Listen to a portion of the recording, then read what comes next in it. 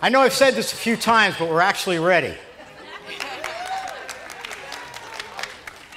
And so, again, I want to introduce myself. My name is Stuart Schlossman, and welcome to MS Views and News, first program outside the state of Florida. We chose Atlanta for a reason. Vicki Pomeroy. She's been hawking me for years to come up here and do a program. Okay? Many of you know Vicki, many don't. You'll hear her later on as well. But I, I want to thank Vicki. And then, of course, we came across with another theory that we're going to do. We're going to start a theme of how we do programs outside the state of Florida. And the next area that we want to do is a place called Birmingham, maybe, something with a B. And then something with a C, Charlotte.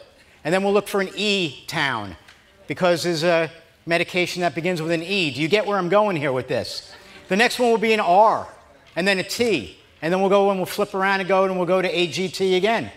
All right? But the, we don't, I'm not going to say anything. But anyway, but that's the whole theme behind all this, is that we're going to go around and get around and get outside Florida doing programs as well outside the state by just going to towns or cities that begin with the names of the drugs. And that will be our theme of how we're getting outside. Before I go any further, I want to thank those that enabled us to do this program today. Genzyme, a Sanofi company, for their unrestricted educational grant, and I want to thank them, and I hope you all do too. Questcor Pharmaceutical for their charitable contribution. Biogen IDEC, Genzyme again, Novartis, Bayer Healthcare, Questcor Pharmaceuticals again, they all take part in helping us with different types of sponsorship. Teva Neuroscience, and I have to thank the Teva rep for the local area because he gave us the projector to use today. So thumbs up to you back there. Thank you. I want to thank all of our volunteers that came from the local area to help out today, as well as a cousin of mine that came down from Charlotte and friends that came in from Fort Mill, South Carolina, because they know that they've heard the types of programs that we're doing in Florida, and we want to be able to do this. The pharmaceutical companies want us to get out there and start bringing our programs that we're doing in Florida out to the rest of the United States because they know when they see the amount of people that are attending our programs. We average 70 people per program. That's a great thing. Why are we averaging this? I have no idea. Maybe it's the reminders. Did anybody get a reminder for this program? Thank you. Thank you. Oh, and remember, my brother told me to smile, remember? So here, there, it's just for you, Eric. I'm smiling. Thank you. All right, so we have a lot going on. As I told you all before, we are doing this live stream. This is our second time we're doing a live webcast. We did it in Miami, Florida at the end of September. We had an audience, an overall audience between people that were there and people watching. We were close to 500 people for our audience. Today's event, I'm sure we're going to be near to the same thing now that we got everything working online. Right, Bill? There you go. He lost a lot of hair over that in the last few minutes. so, Today's program, again, we're doing it as a live webcast. For those that want to watch it later on or watch any of the programs we've done in the past, we have a YouTube channel. It's just simply youtube.com slash msviewsandnews. Very simple. Okay, so you go to that and you'll be able to find the programs that we've taped in the past and you'll be able to look at the live webcast that we did a couple of months ago and you'll have access to this as well. Again, many of you were expecting a certain person to be here today that person being Dr. Ben Thrower. And Dr. Ben Thrower could not be here today. And Dr. Ben Thrower asked me to make an announcement, but I asked him to write it out and send it to me. And so I'm going to read you his message. As some of you may know, his son, Sam, is undergoing treatment for acute myeloid leukemia. When this program was planned, it was hoped that Sam would be finished with chemotherapy. Sam is undergoing treatment and is headed toward now a bone marrow transplant. As such, Dr. Thrower could not be here today, but he entrusted a person that he knew would do as good of a job as himself to be here and work with us and broadcast to the community today, and that be Tracy Walker, his longtime nurse practitioner. I heard Tracy years ago. She did a program in Florida, and I loved her then. So when Dr. Throw asked me if I know her, ooh, that was great. I was happy. Thank you for coming. Yesterday, just so you all know, Sam had a biopsy for his uh, bone marrow as well as something else. I don't remember exactly what it is. They're hoping for good information to come from this. They'll have their results in about a week. For the next 10 seconds, I would like you all, everywhere, please, just think good thoughts for Sam.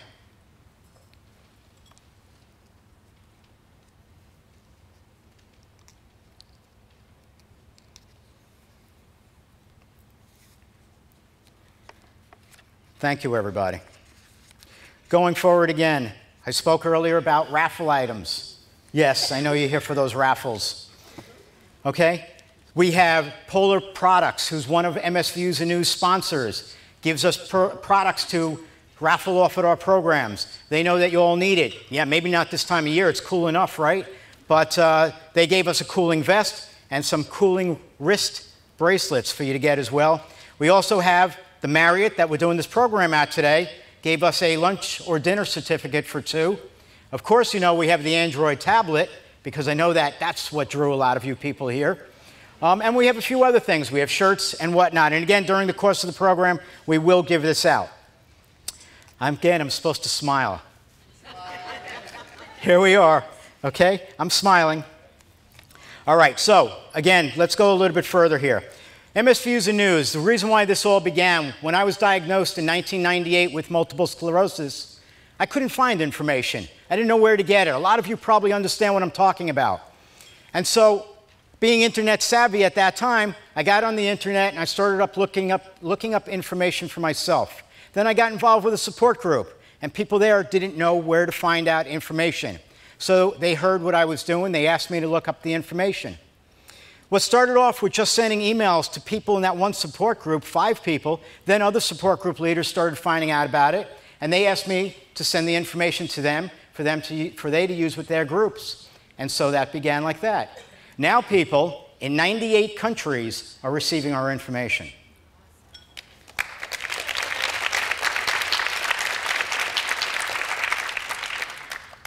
We have a board of directors. Most of those on our board of directors also have multiple sclerosis. We ask the MS community all the time to help us determine what kind of programs we could do in the future. At one time, we only knew to have a neurologist. Now we have a neurologist or a nurse practitioner and a second speaker, maybe an occupational therapist, maybe a personal trainer, maybe a neuro-ophthalmologist, a urologist, a psychologist, many different choices that we have, and we bring those types of second uh, speakers to all of our programs, and it's quite important. And by the way, I need to also thank not just my volunteers and everybody and the sponsors that are here today, but all of you need a round of applause for being here today, too, because this is a great, great showing that we have here today. We have a wonderful audience here, and again, I'm thankful for you all being here. We're going to let each of our support group leaders that are here today speak for about 90 seconds. Why? Because I like to get them involved. Everywhere we do a program, we like to have support group leaders get involved with what we're doing, makes them feel like they're part of MS Views and News, and we want them to know how important we know that you are for the MS community. So we're going to ask a few of these support group leaders to come up here today, speak for 90 seconds each.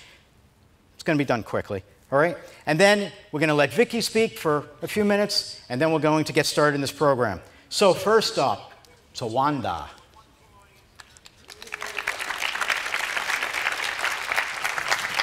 And by the way, I have to stand right next to her because she's mic'd to me. Remain standing. Here you go. Would you like that? Okay. Okay. Thanks, Stuart. Um, good afternoon, everybody. Uh, my name is Tawanda Cooper, and I am the self-help leader of uh, the Bartow County MS Support Group. We're located in Cartersville. We meet at the IHOP um, every fourth Thursday of the month, and we meet at 6.30 to 8.30 p.m. And if you're in our neck of the woods, stop on by. Thank you, to, thank you, Tawanda. That was great. Next, we have Zeta. Zeta? Both ways. I don't want to make a joke from that.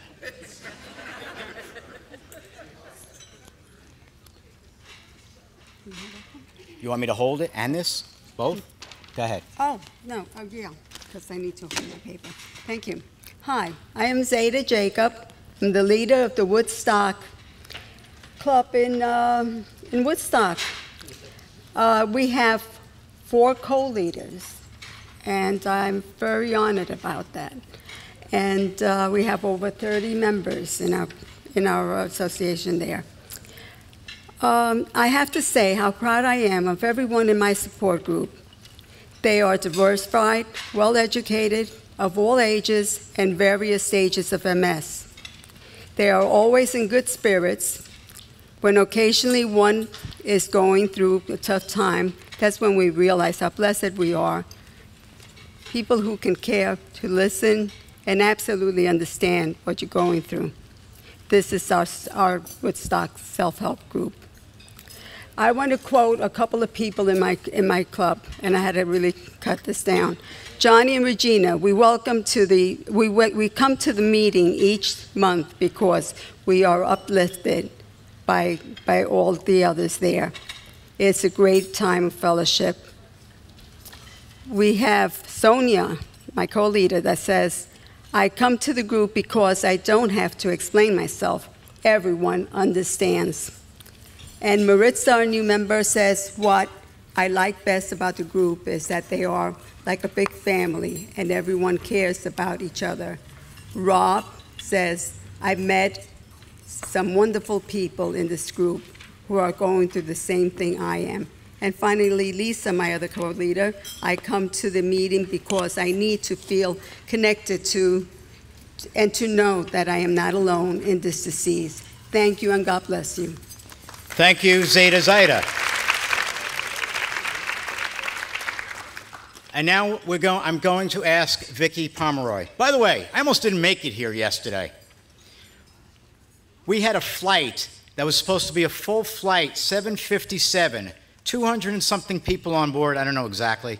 And they decide, just as we're getting ready to board, that they have a latch broken on the plane. They can't close the cargo hold. What are they going to do with us? They wanted us to wait till either a, a red eye flight or fly out the next morning. Yeah, right. I was going to need to rent a car and drive here at 90 miles an hour. So, anyway, though, the pilot decides that he's going to come out and speak with everybody. And he says, I want you all to know we could do this. We just got to get rid of all the luggage, and we could fly at 10,000 feet straight across. I wasn't happy. And he says it could get very bumpy up there, like a roller coaster. And I knew I wasn't happy. I am not one for roller coasters. But, you know, the medical community makes things, made it easy for me to get on that plane. And so I was on that plane. And thankfully, they got rid of all of our luggage. We left late. Our luggage was put onto a flight that was supposed to leave an hour after us, but actually, our luggage arrived in Atlanta 10 minutes before us. Great service. Didn't even have to wait at the conveyor belt waiting for it. So, anyway, that was my story from yesterday. I just thought I'd share that with you. Flew at 10,000 feet. We were able to see the ground, could even see people waving. Who expects a huge jet like that to be so low? It was like being in a little private plane. Vicki, come on over, please.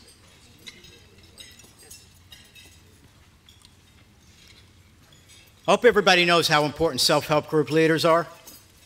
Very, very important. And this is why we have to have them. Do I need both? Four minutes. Less than that. Good morning. I really want to thank you all for coming out today. You all have no idea how important it is that we get together for these educational seminars. We need to reach out to each other and work together. But today, you're reaching out and you're educating and empowering yourselves. For years, you always hear me say, knowledge is power, knowledge is power. If you want to control this disease, you've got to know everything that you can possibly know about this disease. But this educational program today that's offered by Stu is very different from the ones you're used to. We're not going to tell you about one drug or one treatment. We're going to tell you about everything that's out there that we know of. That gives you choices. But today, you're going to go home and you're going to feel smarter, you're going to feel stronger, and proud of yourselves, I hope, because today you took the first step in bettering your own lives. Now, I run the support group out of Snellville, Georgia. This past summer, we celebrated our 25th anniversary together. Thank you. Um, I also produce a monthly newsletter known as The Explorer. Um, the Explorer currently goes out to six different continents and 83 countries. I'm not as well spread as Stu is. But if you do not receive the Explorer, please give me your email address or your stale mail address today, and I'll put you on my mailing list. But again, I want to thank you all for showing up today. Today, you took your power and you used it for your betterment, and I'm very proud of you all. Thank you. Very good. And my, and my sincere thanks to Vicki as well, because again, I would not have made the step to get out of Florida and to come up here to, to start doing what we need to do by getting out of the state. Um, by the way, when we finish this year, we'll have done 31 programs this year between Florida and this being our first out of state. Again, I average, we average, MS Views and News averages about 70 patients per program. That's a fantastic thing. We've only been doing this less than four years, and we now are approaching, when this year ends, we'll have done 90 programs in less than four years. So our aim, our goal is just to educate. Our speaker, our speaking arrangement today, for those that didn't know, we're going to have Julie Herman, did I say that correctly? Here from Shepherd Center. And Julie, for those that don't know, is an occupational therapist. She's an OT in rehab for MS. And so now I'm going to ask Julie to come on over and take the mic for a minute, so that way I can get her slideshow up and running. As Stuart said, my name is Julie Herbin. I'm an occupational therapist at the Shepherd Center. I've been there for six years, and I work in the outpatient MS rehab department.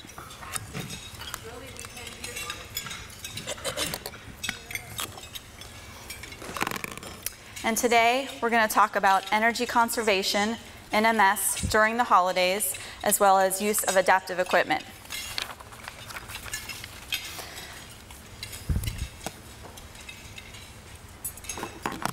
So if you are here today, you probably either have MS or maybe you have a family member or a loved one that has MS. So a lot of you are probably fairly familiar with all of the potential symptoms that can occur in MS. But you could see at the top of the list, I have starred fatigue, and that's the symptom that we're going to focus in on today.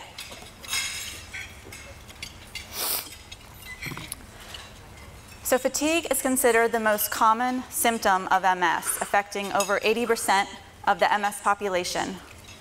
And when we talk about true MS fatigue, we're talking about an unexpected, overwhelming, whole body tiredness that is not relieved by sleep and usually gets worse as the day goes on. Whereas general tiredness is an expected feeling after certain activities or at the end of the day. Unfortunately, the real cause of fatigue is unknown, but luckily it, it can be managed and controlled.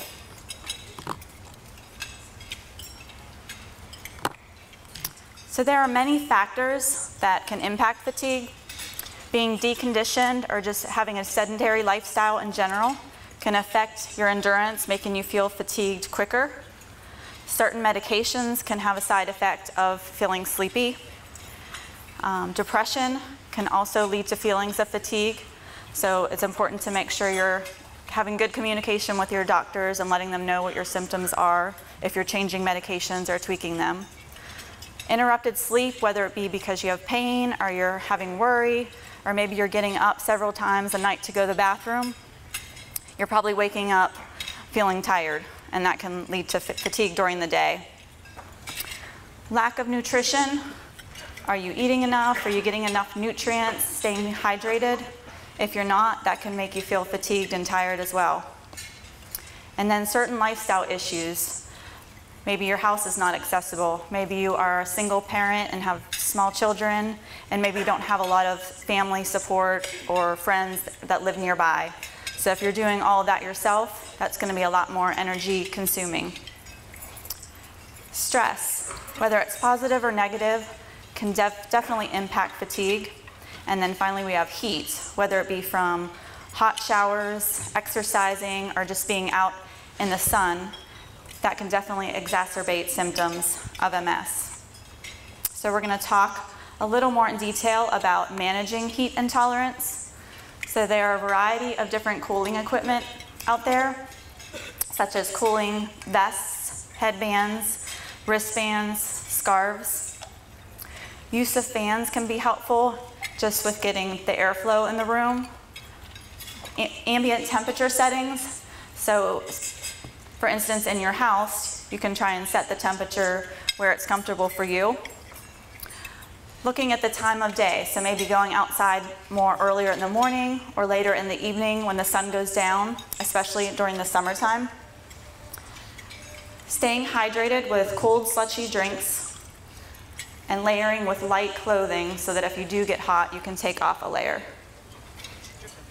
Rest breaks out of the heat are important, even if it's in the shade for a, few minutes, but more ideally in an air conditioning room for a couple minutes. Cool showers can help. And then taking rest breaks when you're exercising or just doing a lot of activity in general.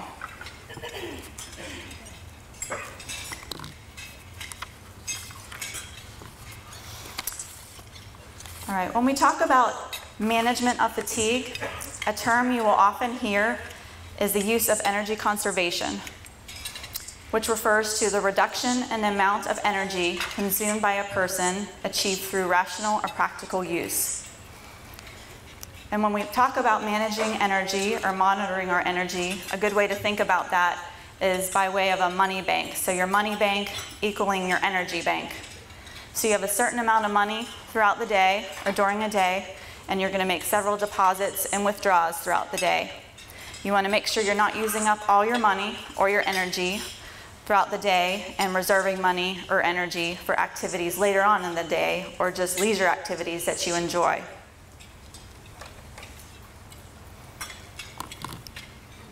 All right, so some basic tips for managing your energy or your money bank. We have the five P's. So the first P is planning.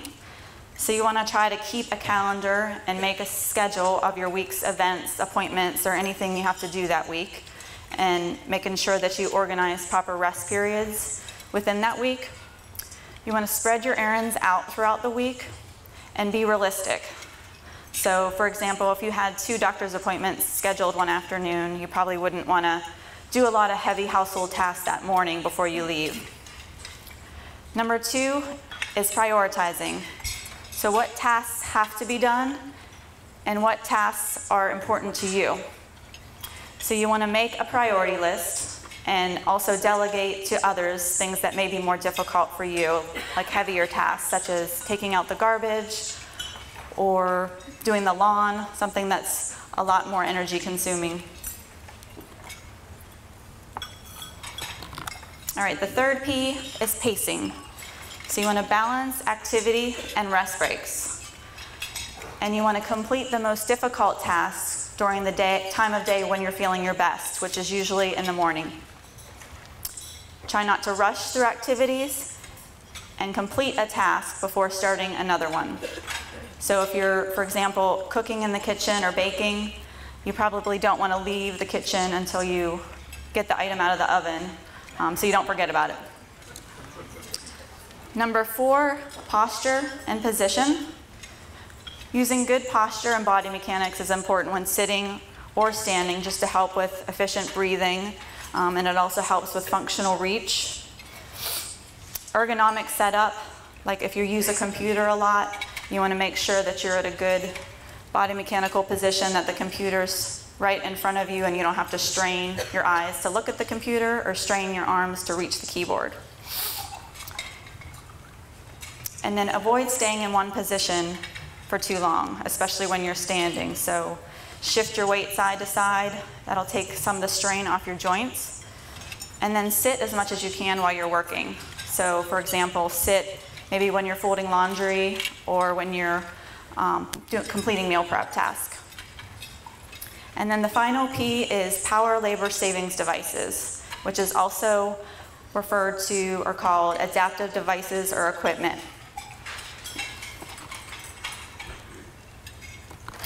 Adaptive devices refers to all the tools products, and devices that can make functioning easier in the categories of mobility, dressing, grooming and bathing, self-feeding and meal prep, and communication. So there are a ton of different adaptive devices and equipment out there, but in the next few slides, we're just gonna look at some of the most common basic ones that we use. Um, and I have some equipment that I brought. I'll show a little bit during this presentation, and then at the end of the presentations, um, I can show you more maybe in the back of the room. So starting with mobility, first is a shower or tub chair or bench. This can help in conserving energy while you're completing bathing tasks, as well as promoting safety. Grab bars can be helpful in pulling yourself up off the toilet or pulling yourself up off of a tub or shower chair. Use of a power or electric wheelchair or scooter can help with conserving energy if you're going longer distances.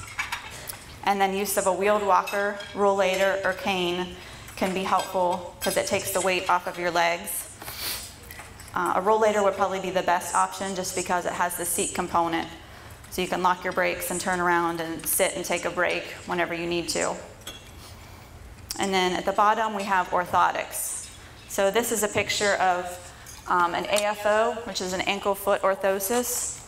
And basically, this just kind of comes underneath your sneaker and it props your foot up. If you have weakness in the ankle or you have foot drop or difficulty picking your, your toe up. So you can save energy that way.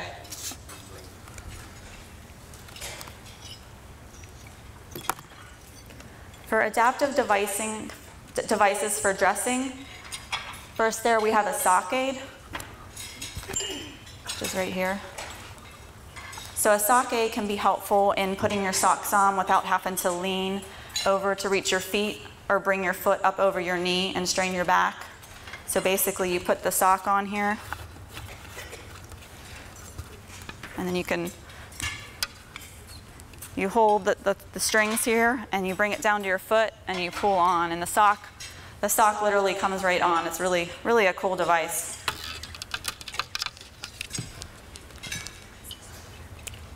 A reacher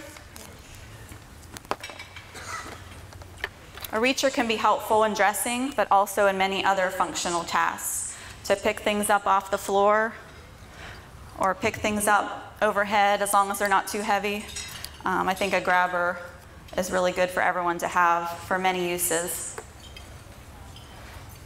All right, next we have a long-handled shoehorn, which I'm sure everyone has seen or has.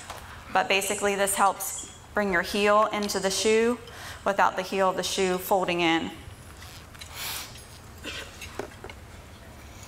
And then finally we have elastic laces and Velcro as an alternative to traditional laces so that you don't have to worry about tying and untying or worrying about them becoming untied on their own.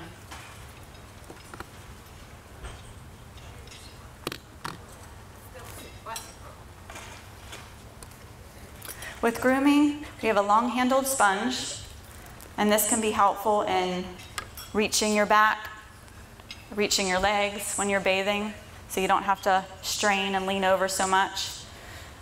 A bath mitt is basically a washcloth that comes around your hand like a mitten. So if you have weakness in the fingers, you don't have to worry about picking up the soap. You can kind of soap up the mitten and just kind of use that as your, as your washcloth.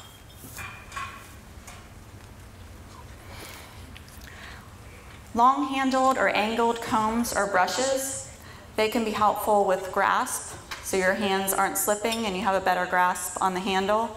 And then the angle can help so that you don't have to bring your hand so high up like this. You can probably bring it more like this and it'll reach the back of your hair.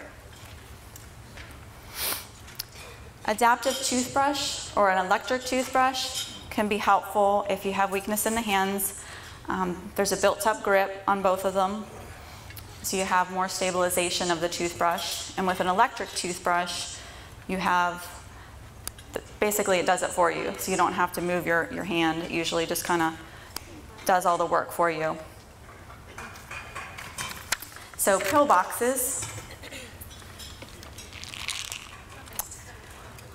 Pillboxes minimizes the amount of time that you have to open and close your pill box because normally you're doing it once a week. And then also it keeps your pills organized so that, you're not looking for the pills or you're not using energy trying to remember if you took them.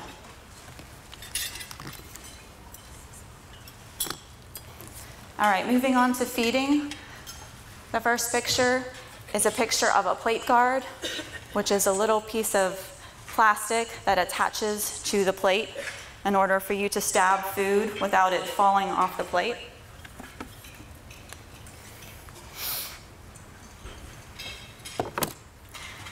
Built-up handled utensils or knives can assist with grasp and just gives you more control in general when you're stabbing food.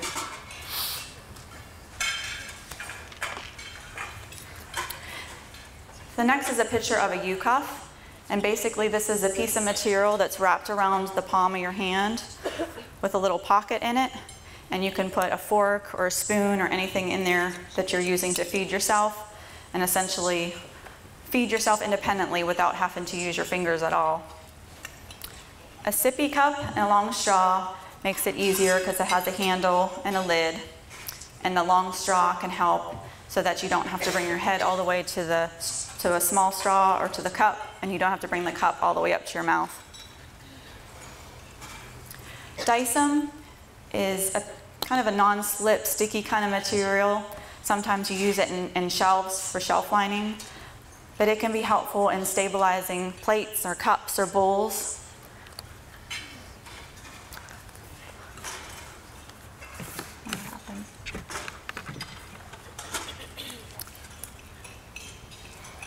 so that they're not moving around on you. Thanks. and then finally, an electric can or jar opener is going to be much more energy conserving than using a manual one.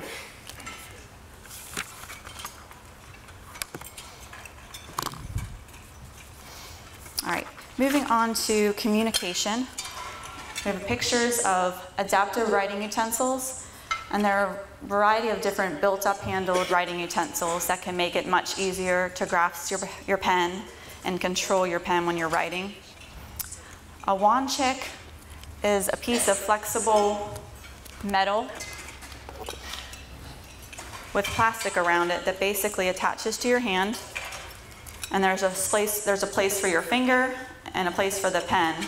And it puts your, your hand in a really good natural writing position, but you're really not having to use your, your fingers very much. So it's good for difficulty with fine motor and finger weakness.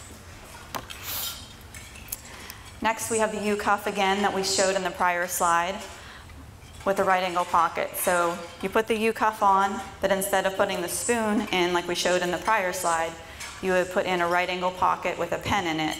And then you can adjust the angle to where you want the pen. And again, you essentially don't have to use your fingers at all for writing.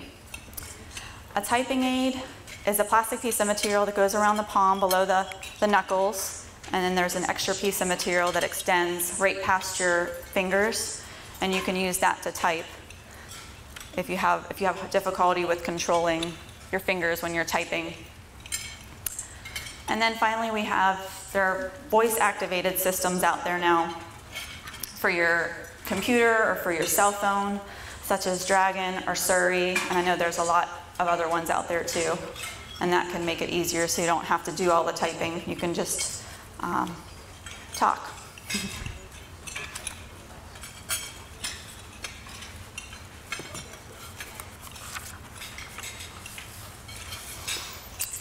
All right, so as we all know, the holiday season is coming up, and it can be a very fun and enjoyable time of year. But also, it can be a very busy and energy consuming time of year. So, we wanted to really just touch on energy conservation specific to the holidays. So the categories are shopping, decorating, family visits, meal prep, and traveling.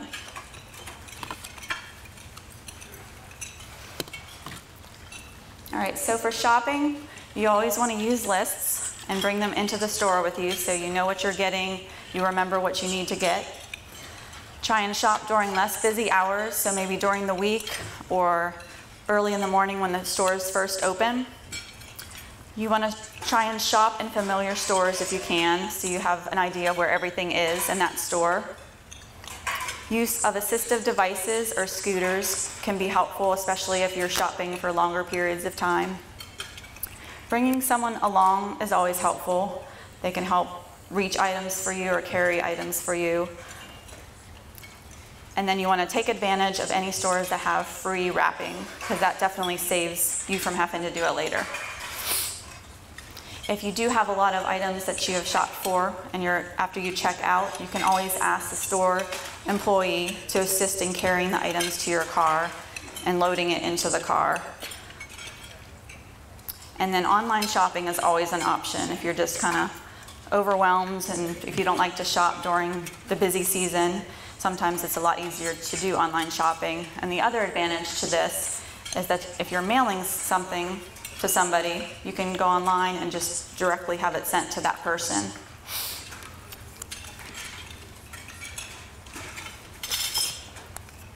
With decorating, you want to make sure you're starting early enough. Do just a little bit at a time. Get help if you need it, especially with decorations that are heavier or if there's something that needs to be hung. You want to try and use and buy lightweight decorations as this is much easier to manage in general. And then use of an artificial tree is easier to take care of and manage, and then you have it for the following years as well. And then organizing decorations, if they aren't already, at the end of the season when you're taking down your decorations, if you put it into a, a bin and label it Christmas decorations, it's going to make it much more easy to, to start doing in the following year.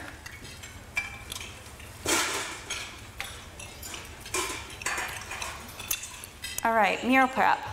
So with meal prep, you want to make sure you're planning ahead and making a list of all the things, ingredients that you might need at the store. And when you are at the store, you want to try and find some pre-made ingredients because that'll definitely save you some steps.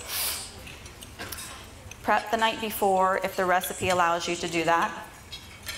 And then when you're getting ready to actually start the meal prep, you want to gather all supplies first, like to the table, for example.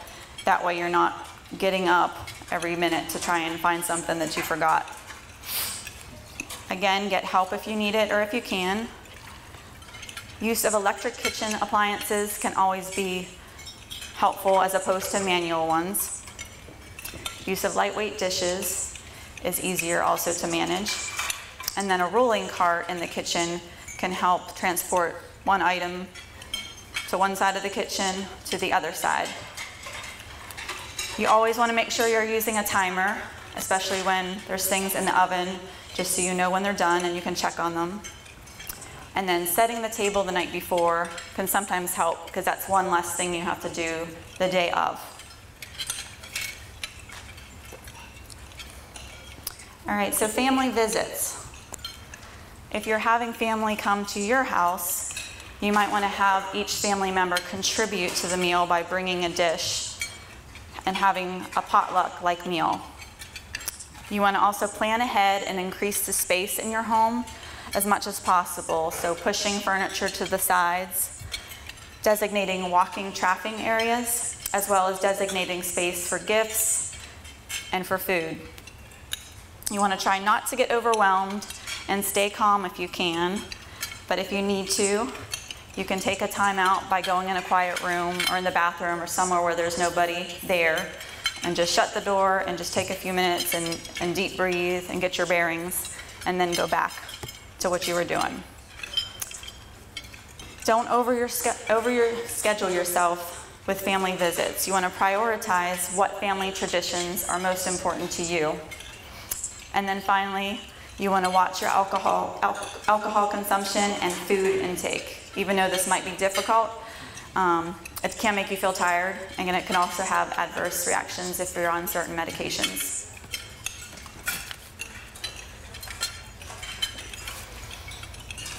All right, traveling. I think this is the last one. So with traveling, again, you want to make lists of what you need to pack. That way, when you are packing it in the suitcase, you can cross it off. Make sure you're packing ahead of time and also packing a light carry-on with all your essential items, especially your medications, just in case your suitcase were to get lost. If you're traveling by air, you want to call ahead of time to get accommodations for assistance navigating through the airport. Make sure you get to the airport early enough. And then consider taking a taxi or having someone drive you to the airport so that you don't have to drive there, park, walk through the, uh, through the airport parking lot, and drag your luggage, because that's a lot of energy that's needed for that. If you're traveling, traveling by land, you want to plan short, quick rest stops or overnight stays if needed. So if you're traveling fairly far, you might want to split up your travel into two days. And then finally, rolling lightweight suitcases are recommended so that you can transport your belongings much easier and it'll make it much more manageable.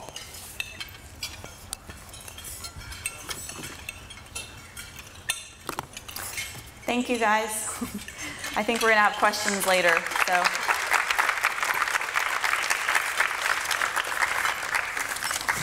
So the first thing that we're to do is we're to raffle off the dinner for two here at the Atlanta Marriott. And the first number is 360. You all have your numbers out? 360383. Woo! We hear a woohoo. I can't scream that loud. Okay, great. I'll be with you in a few minutes. The next thing we have, we're going to do two at a time here. We have a book about multiple sclerosis. And it's 300 tips on making life easier. And that I figured would go great just after the conversation that Julie just had. So we are going to do that next. And again, we're mixing. Hopefully we'll get to the other side of the room, all right? And we have number 360, 345. No five? No three, four, five? Do I see a hand in the back? You gotta stand, I can't see it. There's bright lights up here. There we go, thank you. Thank you. All right, so we have our first two raffle winners, and we'll proceed with that later on again. And in the meantime now, we're gonna have Tracy come on up. And Tracy, a lot of you already know, and from the years that I heard that she's put in at the Shepherd Center, this would be uh, fantastic. I can't wait to hear her again today. I'm going to give Tracy the mic. Get of my paraphernalia here. Tracy's at the mic. Okay. All right. All you want it in right. there? Do you want it in there or do you want to hold it? I'll, we'll, we'll be flexible. Okay, let me get your thing up. Hey, thank you guys so much for coming and letting me fill in today. I know a lot of you were expecting a pirate with a mustache and goatee, and and I, I really, I tried, but I couldn't fit in the pirate costume. And Stuart insisted that I shave before I come up here, so you know, sorry. But um, hopefully, we're going to have a good time, and hopefully, we'll talk about some things that maybe you're um, wondering about. And, uh, you know, when Dr. Thrower. Okay, thank you. When Dr. Thrower talked to me about filling in for him today, he was like, I was like, well, what are you speaking on?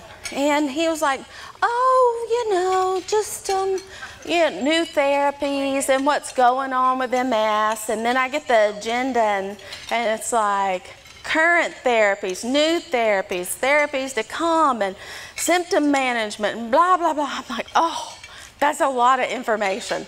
So um, forgive me if we don't get into as much detail as you would like, but at the end we are going to have a questions and answer um, time. So if there's something you want to know more about, feel free to answer, I mean to ask. And if I can't answer, I will research and get the answer to you. You can email Stuart and he'll get the question to me as well. So um, thank you guys again for coming. So, as Stuart said, I'm a nurse practitioner. Uh, I've worked at the Shepherd Center now for 20 years. Um, I started when I was 10. So, um, but I love Shepherd Center. I'm very proud of Shepherd Center. I think it's a unique place. We specialize in brain injury, spinal cord injury, and MS. And um, so I've been there for, for 20 years and um, with Dr. Thrower now for a little over 10. And I'm very proud of our team. I'm proud of Julie and our rehab team. I'm proud of the neurologists that I work with, Dr. Thrower and Dr. Loring. And we're going to have a new neurologist joining us in March um, from Harvard, Dr. Guy Buckle, a very well known um, MS specialist is going to be joining us and doing some MS research with us. So we're really excited. And um, so, you know, at Shepherd, we're very passionate about what we do. Um, we're passionate about treating MS. And there's a couple of other things we're passionate about. Um, Halloween. We're very passionate about Halloween.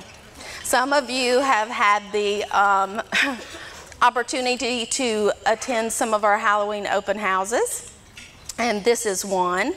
Um, so we have a good time, and we really um, are a family. And I thank you guys for all the support that you've given Dr. Thrower and his family during this time, and I think it really has meant a lot to him. So thank you very much.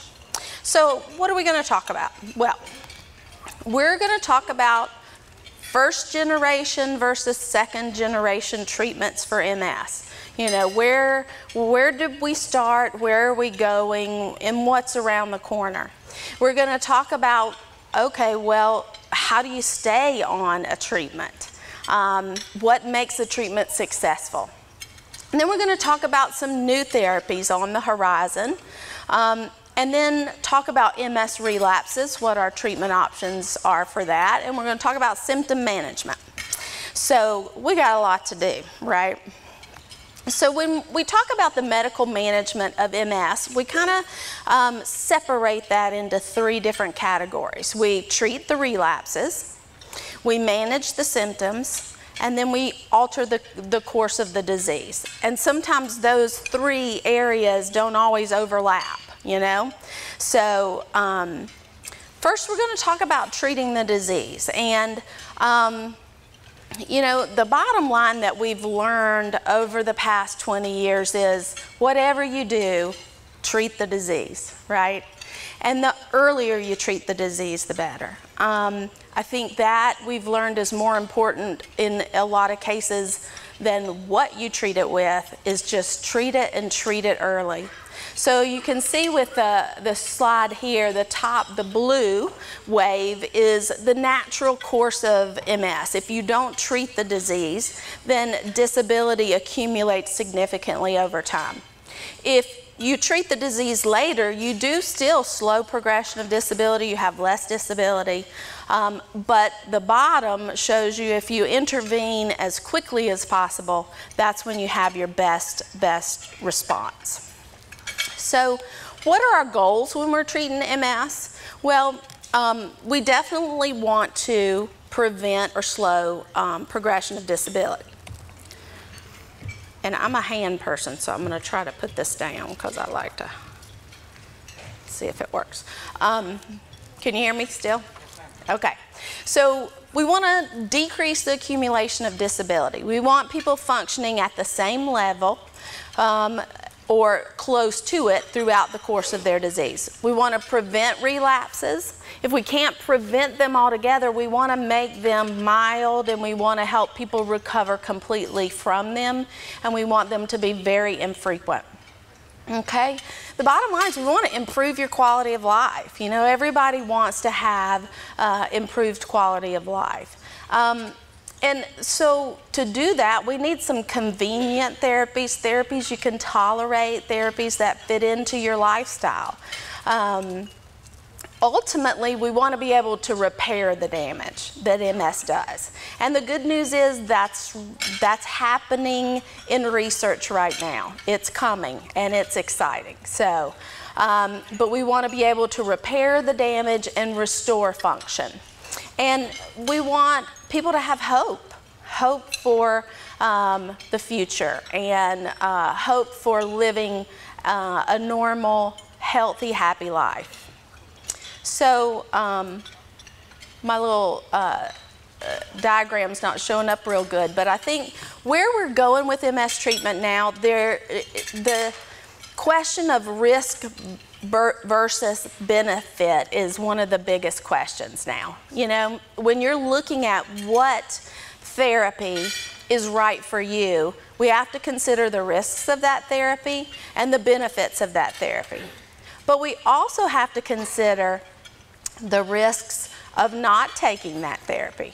You know, uh, I think a lot of times we talk about the risk of a drug, but we don't balance that conversation with the risk of MS progressing if you don't take that drug or a drug, right?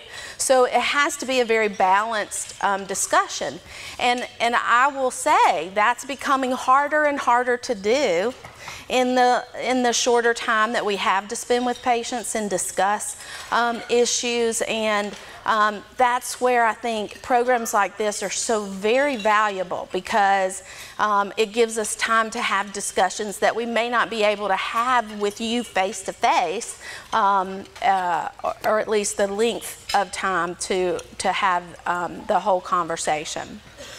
So, what factors do we consider when we're saying, okay, what drug is best for you?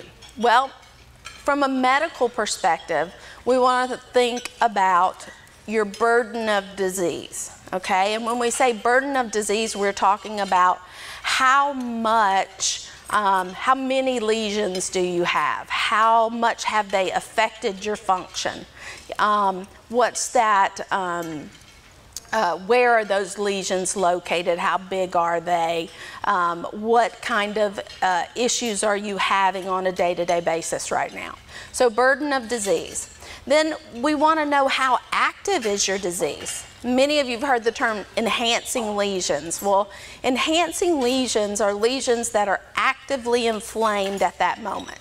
So when we do an MRI, we look at several different views, and we look at one view that tells us um, lesions no long no matter how long they've been there right so that kind of tells us your overall burden of disease then we look at the lesions that are lighting up with the dye. Okay, not all of those lesions will take up the dye. It's only lesions that are actively inflamed at that moment. You'll hear some physicians refer to that as a hot MRI or hot disease, meaning it's happening right now. We got to shut down that inflammation.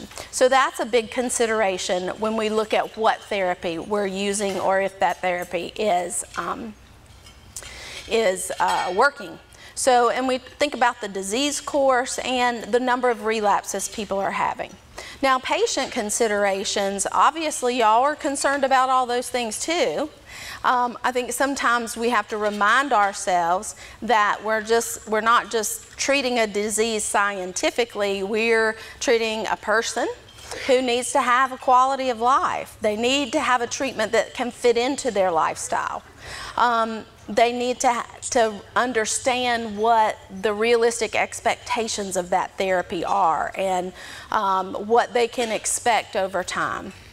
And you know, sometimes what therapy a patient chooses has to do with things other than, you know, how you take it, when you take it, um, how well it did in research. Sometimes it depends on, you know, if you can physically do that, if you're able to get to a, a somewhere to get an infusion. If you know, there are a lot of other things that go into that decision. So it's it's not a easy recipe.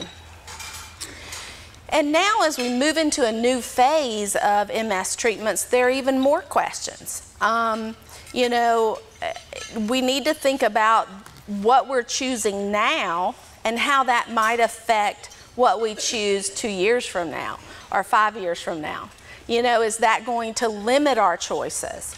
Um, so, you know, we, we talk a lot now about exit exit strategy. You know, how do you, if you start a therapy, you got to know how you're going to move to another one if you need to. So it, it, it's really becoming a much more complicated um, uh, landscape. So right now, this is the, our, our kind of landscape of MS over um, the past uh, 15 years and moving on into the future. And first, we're going to talk about our first generation therapies and how those are used. Then, we're going to move into kind of the second generation therapies. And then eventually, we'll talk about some of the things that are right around the corner and um, might be uh, useful soon. So, our first generation therapies, or, or, or some people refer to them as our platform therapies, or the ABCR drugs, right? Um, and actually now it's ABCRE, but that's just not quite as catchy, right? so yeah, the, the pros, you know, I have patients ask me, um, you know, are we still going to use those therapies? And the reality is they're good therapies. They've proven their worth um, over the years. We know they're safe. Um, we know what they do in a large population of people over a long period of time.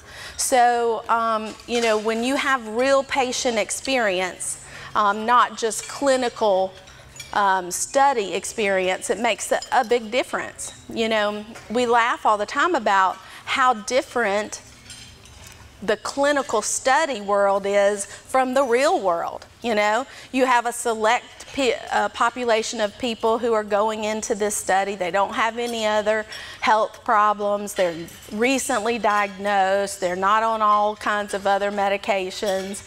And they have a research nurse helping them through this study, right? In real life, that's a whole different ballgame. So it's helpful to have that real life um, experience when you uh, have a new uh, drug come on the market. Um, we know that, you know, the ABCR drugs, they have their issues, um, but for the most part, they're pretty well tolerated for most people. So, what are the cons? That's not my chihuahua, but I have one that is the devil and looks very much like that. But anyway, it, you know, the challenge is it's hard to take injections. It's hard to take injections. But as we're going to talk about in a minute, it's hard to take medicine. I mean, I struggle even taking my calcium supplements. I mean, come on, you know? It's hard. It's human nature to struggle with that. But when, you know, with the injection, sometimes if you add on some side effects or injection site reactions, it's a, it's a big challenge. And so, you know, as providers, we need to be sensitive to that and, you know, um, and really listen to what our patients are saying. And I have to tell this story. Um, uh, one member of our team, which will remain unnamed, Colby. Um, anyway, so he, um, years ago when he was the charge nurse in our clinic, before he became the nurse practitioner, um, uh, for some reason, I think somebody had left some Copaxone um, in the clinic or something, and, and he took a shot home and he said, You know, I'm just going to see. Yeah, I'm going to take the shot, I'm going to see. It can't be as bad as all that, you know? So he pulls it right out of the refrigerator and injects it and um, spends 30 minutes running around his house screaming at the top of his lungs which is a very hilarious picture in my mind. Um, but you know, it, it really gave him a whole new perspective on what we're asking our patients to do, you know? And I think it's always helpful if we can step back and try to put ourselves in uh, your shoes. So, okay, with the first line therapies, okay, what did, what did we do if they didn't work or you couldn't tolerate them. Um, well, we, we had a lot of different tricks, but three of the main ones we used were Novantrone or mitoxantrone, Cytoxan, and pulse steroids. Well, and y'all, I apologize, I have a cough, so I got my little cough drops lined up up here. Um, so, Novantrone um, is uh, a drug, I think it's an IV uh, chemotherapeutic type drug, and it's still used around the country some. And I know in Europe and other areas of the world, they still uh, use some Novantrone. So some of the people who are joining us on webcast might uh, be familiar with that drug. Um, we would use that if people had a lot of that aggressive disease. Um, and but what we learned over time was that Novantrone can have a lot of uh, heart toxicity. Um, and now, if you've ever had Novantrone, you're supposed to get a yearly echocardiogram to, to make sure your heart is working okay. Um, and it can cause some leukemias. So, um, as Tysabri came on the, the scene, and we're going to talk a little bit about Tysabri, uh, our practice, we really rarely use Novantrone now um, because of those risks and because we've learned so much um, about Tysabri. So, um, Cytoxan is a, a chemotherapeutic drug, and it's a very interesting drug. It was used a lot um, you know, before we even had the ABCR drugs. And still, for some people, uh, we use that treatment. And it's, um, it's interesting because there seems to be a small group of people that, to, that really respond to that therapy. So sometimes we, you know, if people don't aren't responding to typical things that we uh, would normally put folks on, they we may put them on Cytoxan, and sometimes they do beautifully. There's a lot of lab work that has to be monitored for that as a chemotherapy drug, etc. Pulse steroids. Um, you know, pulse steroids I think sometimes can be very effective. We still use them occasionally, but long-term use of steroids can really have some serious health issues, and we're going to talk about those in a minute. So again, it's one of those risk-benefit kind of measurements. So all right, we've made it through sort of our first generation therapy, and um, we're going to move into Tysabri and the, the oral therapies now. Um, so I think if I had um, uh, even a dime for every time somebody asked me over the past 10 years, when's the pill coming? When's the pill coming? I would be a wealthy woman. But but the oral therapies have been very long and eagerly awaited um, to arrive on the MS scene. And I think one of the, the biggest issues with the oral therapies is we were all waiting for oral Copaxone and oral interferon, and and uh, you know, unfortunately, those uh, were not able to be you know, converted into oral therapy. So what we have are therapies that work in entirely different ways, okay? Um, so, and, and as we've moved into that second generation of therapies and, and learning how to manipulate the immune system in very specific ways, we've learned that um, we don't know everything we need to know about the immune system. It's very complicated. And so we're seeing that in real life. We're seeing things with uh, some of the new therapies that we didn't see in the research. So, um, but not to mean that they're not good and effective therapies that you know they are and i think for some people they're they're very helpful and um, people are doing well. Gilenya was our first oral therapy and um, when it, it the challenges with Gilenya, I mean, it's a once a day pill and it's a great treatment. The challenges with it is because of the way it works, it can affect other pathways in the body. So we have to be very careful to check the heart, um, check the eyes. Um, the first dosage, you have to be monitored for six hours because it can, you know, cause uh, heart arrhythmias and can cause blood pressure issues. So, um, it, you know, I think one of the challenges with Gilenya is just getting people on it, you know. You have to send them all around town and get all the reports and then uh, proceed. But um, I think for some people it can be an effective treatment.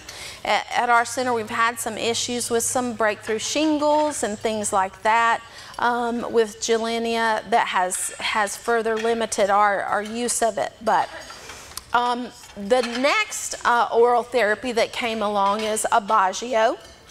Um, Aubagio is a once a day pill as well. And um, in terms of um, general day to day side effects, I think it has, you know, people usually tolerate that fairly well. The, the issue with the Aubagio is, is a couple of things. Number one, it, um, it it was derived from a medication that's used in rheumatoid arthritis that has, uh, uh, you know, some significant liver function uh, abnormalities. So it can affect the liver. Even though in the trials with Aubagio, it didn't seem to affect the liver as much as um, its cousin, um, the FDA said, okay, listen, you got to be sure that people aren't having any, any liver function abnormalities with this. So you have to check liver functions every month for the first six months. Once, you know, if somebody is not having any issues with it at that point, then they're generally going to tolerate it. So sometimes that's a challenge for people to get to a lab or their doctor to get their, their labs drawn. So other folks may be on other medications that have a potential um, impact on their liver, so they don't even want to go there, you know. So that's one issue with Aubagio. The other issue with Aubagio is it's pregnancy category X. So what that means is, you know, not a good drug for women of childbearing potential. And even men, it, it can be transmitted in the sperm. So that eliminates or makes significant challenges for a large portion of our, our patient population. But it can be a really uh, good drug um, for the right person. Then the next drug that was um, uh, approved in the spring is called Tecfidera. Tecfidera is a twice a day pill, and um, um, it's something that, that we've been watching. It was studied under the name BG12, and we've kind of watched that drug and, and heard about that drug for a long time. So we were really excited about Tecfidera coming on the market. And one of the reasons is um, there, there doesn't seem to be any um, major lab work um, abnormalities. We do check, you know, uh, blood counts and liver functions periodically, but um, no major huge safety issues with that drug. Seems to be, at this point, a safe drug. Also, the, the parent compound was used in Europe for psoriasis for a number of years, and so you, you know, you have some of that real world experience to draw from and, and make you feel a little bit more confident.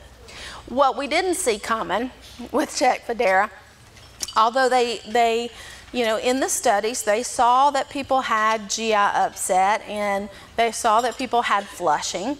Um, but um, I don't think we were uh, ready for the degree of that side effect. Um, and it's interesting to me that people, you know, side effects with drugs usually people fall kind of all over the spectrum, right? They might have a little bit of side effects, or they might have a lot of side effects, but you know, people are all over that spectrum. With Tecfidera, it's interesting because um, it's it's almost like um, everybody's most people are either they do fine, they don't have any side effects, or they're down here and they're like whammed with the side effects and just can't tolerate the drug. And so um, it's interesting to, to see, and, and we don't really know how to predict that.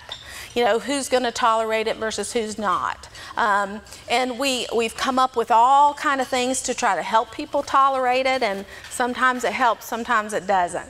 But um, again, some people uh, tolerate it just fine and do really, thus far, have done really well on that drug. So, um, so we welcome the, the, uh, the opportunity to have some oral therapies for people um, who really want to, to have an oral treatment. Now, the question has always been, the debate has always been, well, um, you know, are people going to be able to take a pill easier than a shot? So, um, how many of you would say a shot, absolutely, people are going to take that easier? Oh, okay. All right. Well, maybe I was the only one that was shocked, but when they did the statistics on, um, of course, you know, we don't have a study where um, the we send somebody to watch you take your pill and your or your shot in your house, you know. So the only way we can measure whether or not people are taking their their pills or their shots or how often you get it refilled from the pharmacy.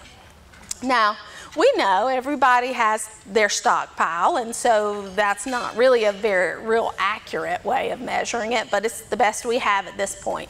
And what they found was really, in terms of, they call it medication possession, the injectables did a little bit better than the orals. So I think really what that tells us is it, it's an individual thing. You know, if it, what I've found is if people are on a treatment that's working for them, most of the time they want to stay on it.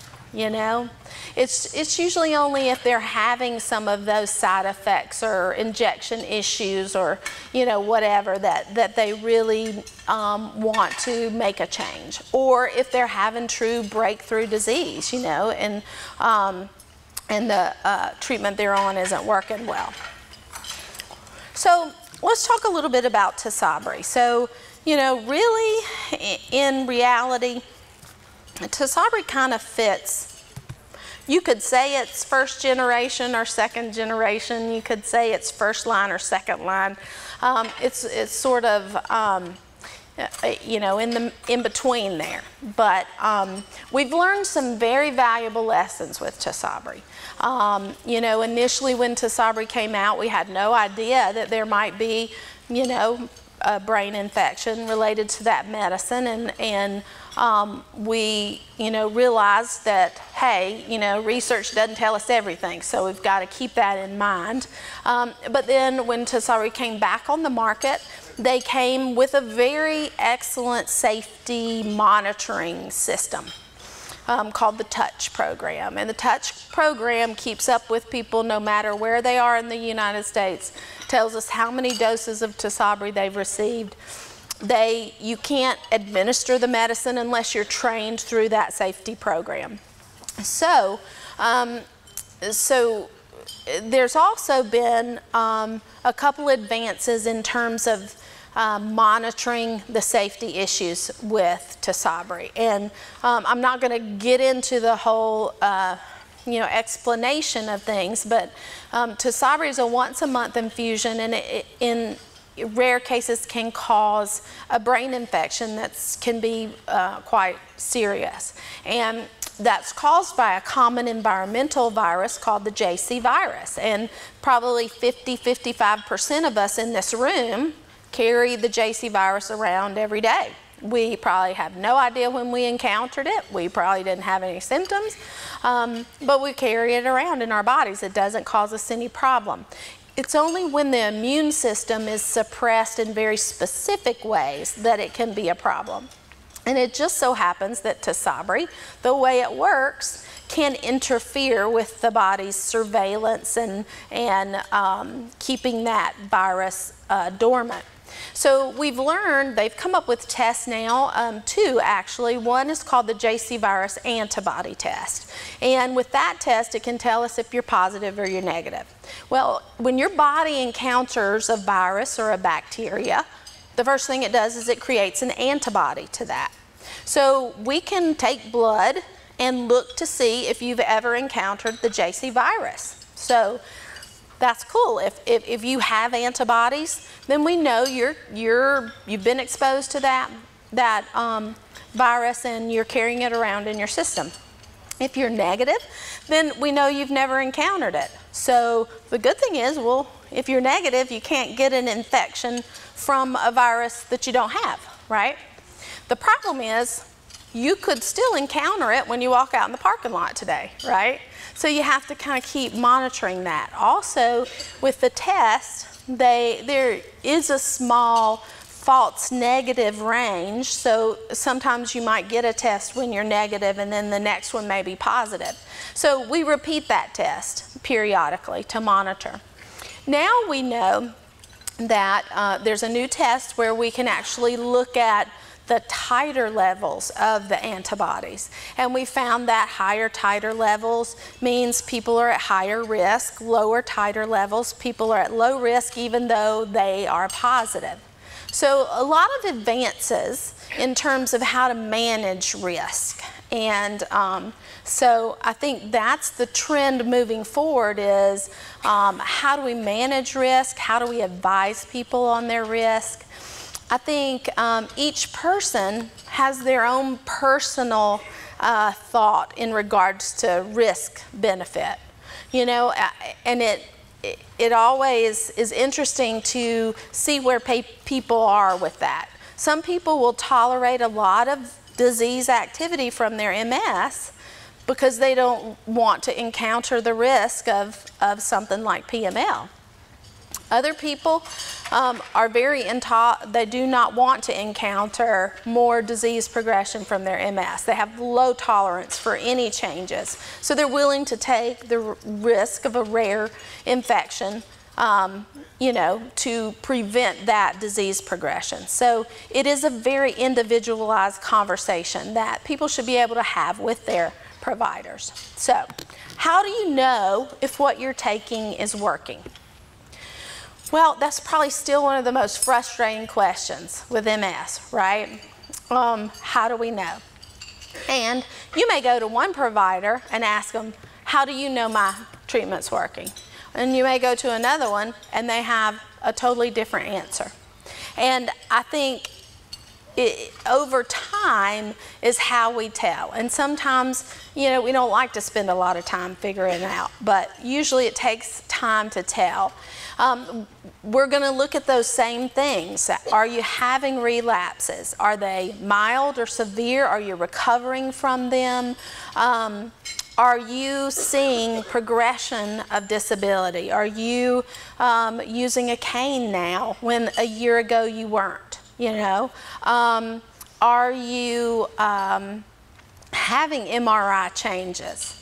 Um, how many of you have felt perfectly fine, had your MRI, and gone to the doctor, and they walk in and say, "Wow, you got three enhancing lesions on your MRI," and you're like, "What? What? I feel fine," you know? And probably the opposite has occurred to many of you too, where you see clinical problems and you're certain you're going to see MRI changes. And you go in, and the doctor and nurse practitioners, oh, your MRI looks great, good job. Well, wait a minute, you know. So I think that's one of the challenges. The the um, objective tests that we have don't always correlate with the clinical presentation. So. Um, so, and then I think what we need to hear from you is how do you think you're doing on the therapy in terms of is it um, tolerable? Is it something you can do and fit into your lifestyle? You know, I've had um, folks come in and not, you know, tell me they're not taking their injections. And it's like, well, I'm, I'm going to get back on it. I'm going to get back on it. And, you know, I think the bottom line is if if you're if you're having real difficulty taking whatever medicine that you're on, you know, maybe you need to think about an alternative. Now that we have alternatives, maybe it's time to think about a change. So, so important question. What therapy is the best therapy? You know, I've spent 20 minutes going through all the different therapies for MS and, and uh, uh, to a newly diagnosed person, they're like, I don't care about all that. I just want to know what's the best therapy? The one you'll take. That's the best therapy. Um, seriously, you know, I think it's all well and good to look at just how effective medicines are. That's important. But we got to make sure it's tolerable, it's convenient, it's, you know, fits into your ability to, to do that treatment. And we need to be responsive to that. So, why don't people take their medicines? Well, there's a lot of reasons. And um, I don't know, many of you may be like me in the audience where, you know, I tend to make things a lot more complicated than they have to be.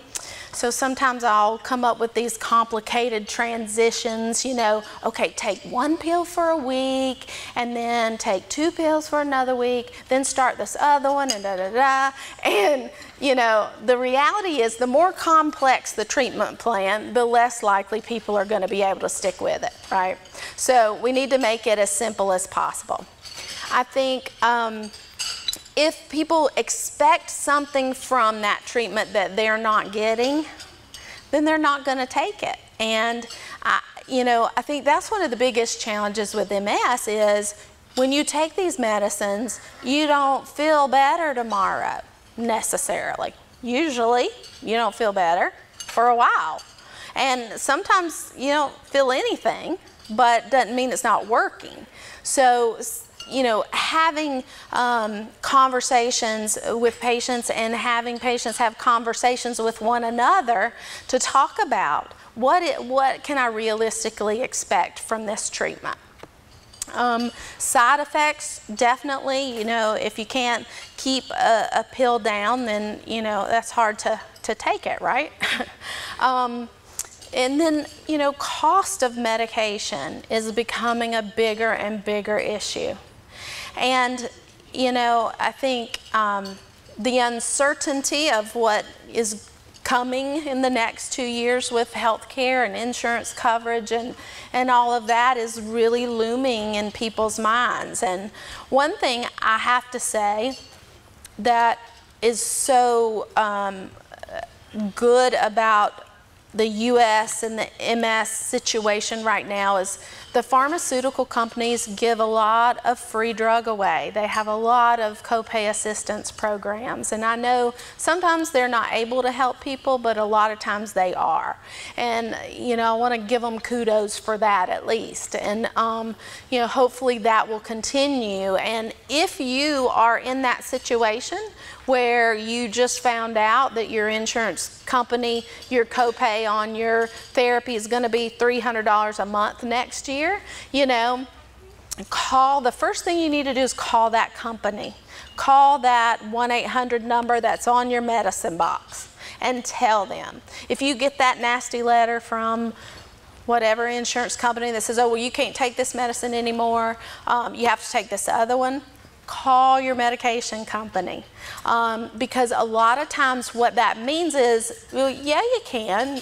They just need to get with us and send a letter and tell them you've done well on this medicine for years. Why should we change you? So um, use, use the assistance available for you. What helps people take their medicine? Um, having a sense of ownership a sense of control over your MS, over your treatment is so important. And I think that's one of the things I'm proudest about at Shepherd. I think we usually do a good job of letting patients um, be very involved and drive that decision making choice in regards to their treatment. And because you know, I've learned as a nurse over the years that if you don't believe in your therapy, it's not going to work, you know? Um, you have to have confidence in that and hope for um, effectiveness. And we talked about understanding the treatment goals, perception. Uh, the other thing that was interesting is people were more likely to take their medicine if they felt like their healthcare provider was supportive. Um, and so that's a, a, poke at us. We need to be sure that we're um, being as supportive as we can to folks and, and um, providing adequate information on therapy.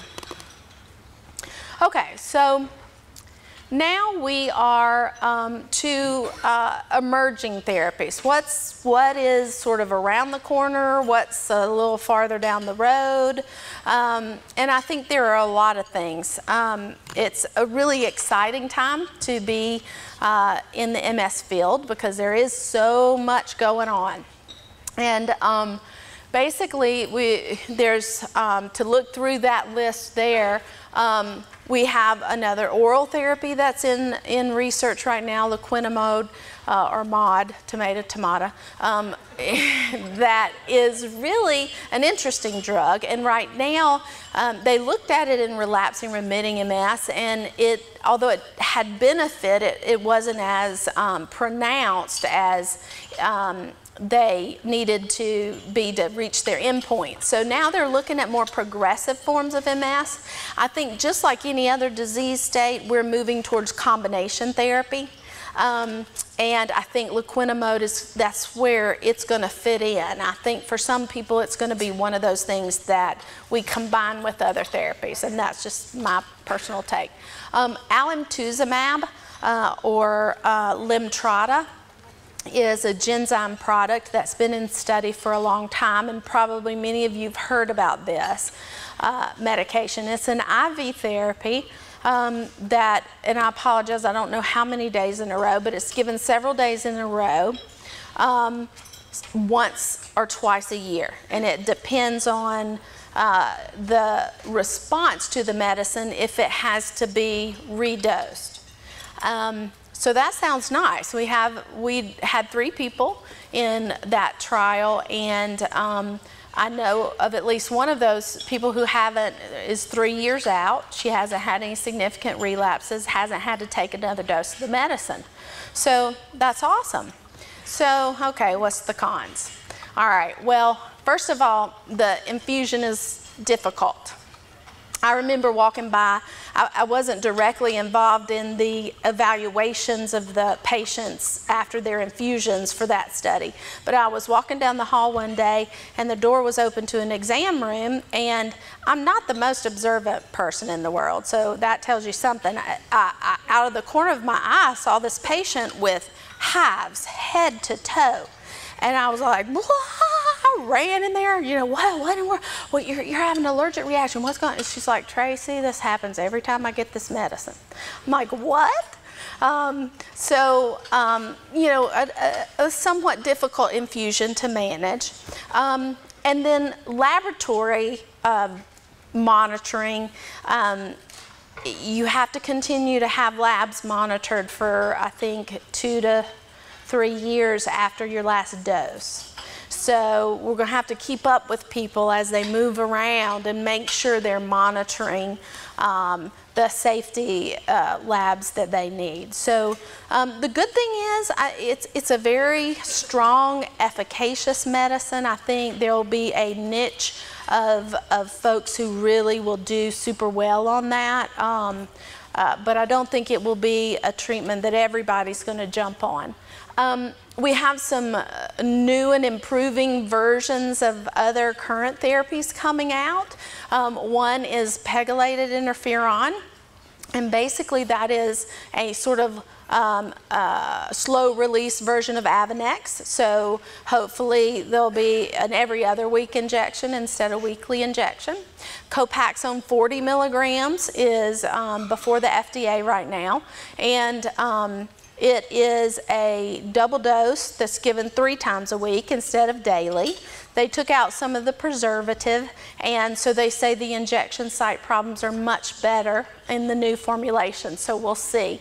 Um, then ocrelizumab, daclizumab, those are things that are um, kind of in the same class as the um, uh, Tysabris and, and natalizumab and all those things that they do different um, uh, ways. Rituximab, they're looking at even giving it intrathecally, um, meaning by spinal tap. So I can't imagine that will be a real popular choice. But anyway, we'll see, right? We'll see. Okay. I think one of the most exciting things is that we're, there's a lot of research going on for progressive forms of MS, um, but both primary progressive and secondary progressive MS, um, and they're having some really good um, results. Um, at Shepherd, we did the um, Tcelna trial, and that's basically uh, a vaccine where you take out a, a person's own um, T cells and they uh, treat them, make them weaker, and give them back to the patient, and that calms down their MS.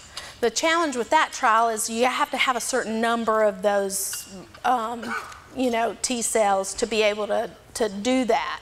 Now, one of the most interesting things in early research that I've heard recently is there's a, a, a man who um, has figured out how to use, instead of a person's T cells, nanoparticles and have them carry antigens into the body that decrease um, reactions uh, inflammatory reactions. And, and, the potential for that for all autoimmune diseases is pretty staggering. It's very uh, interesting.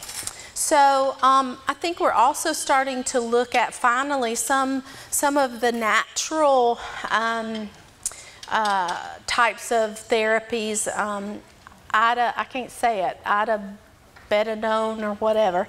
it's sort of a high-powered antioxidant that um, they're looking at for uh, using in progressive MS. So a lot of different varied treatments that are available.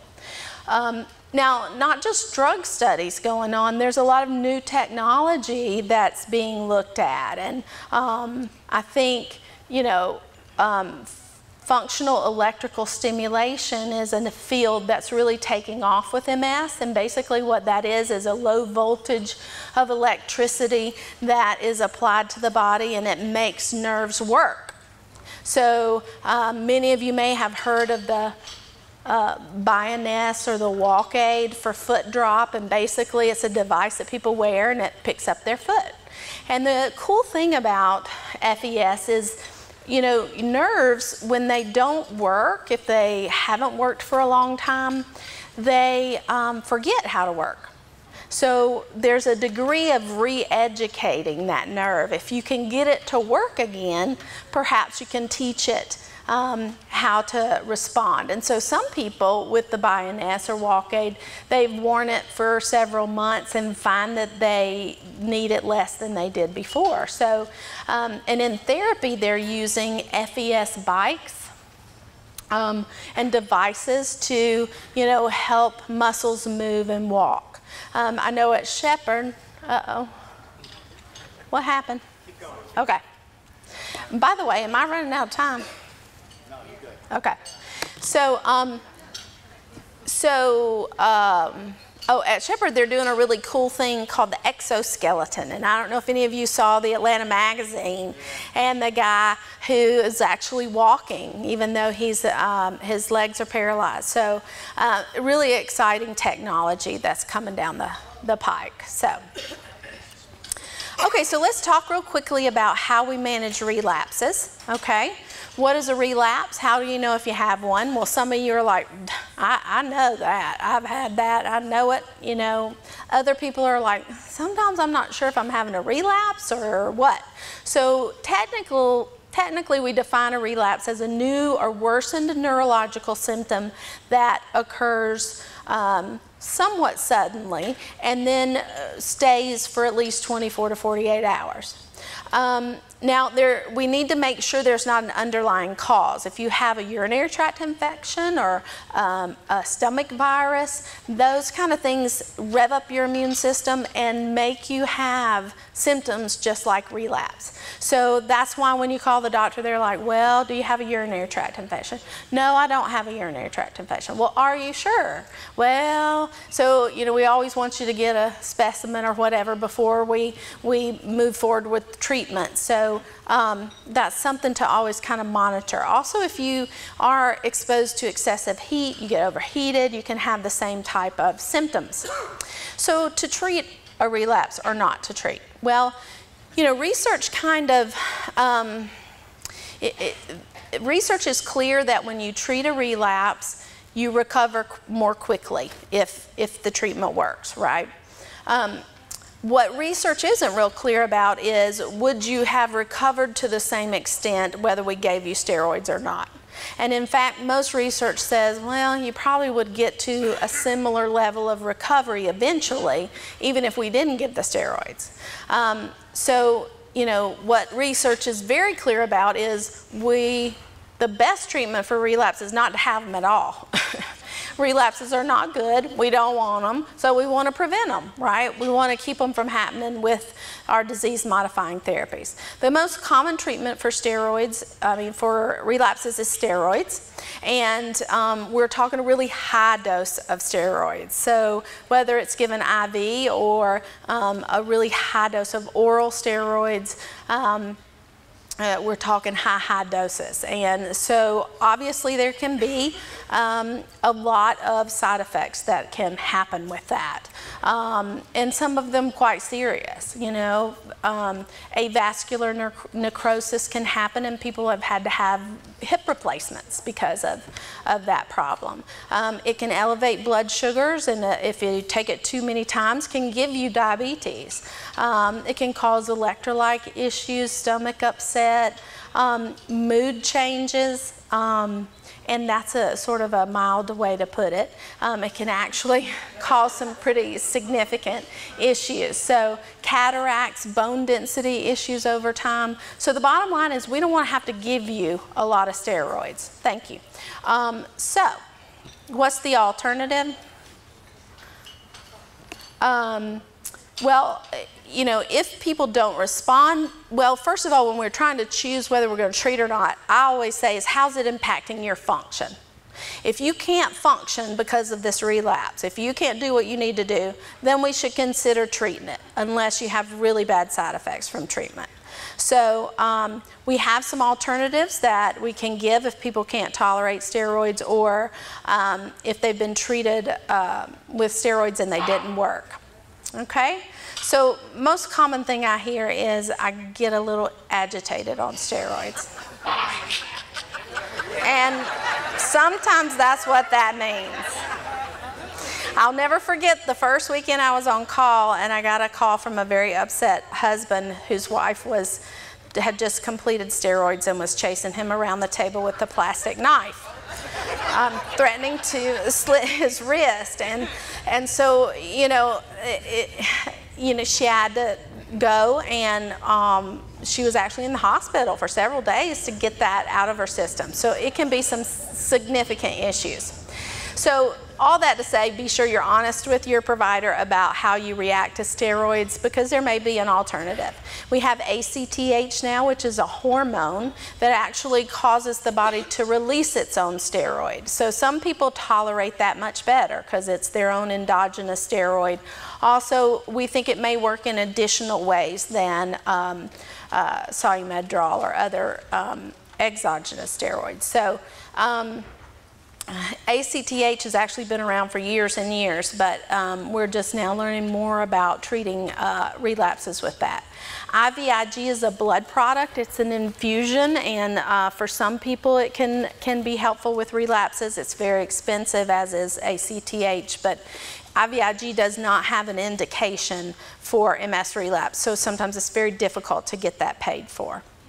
So we're going to move into symptom management really quickly. And for those of you who know me, this is my absolute favorite topic. And it breaks my heart that we can't spend the rest of the day here together talking about it. And, but maybe another time, right? Maybe Birmingham. Woo! All right.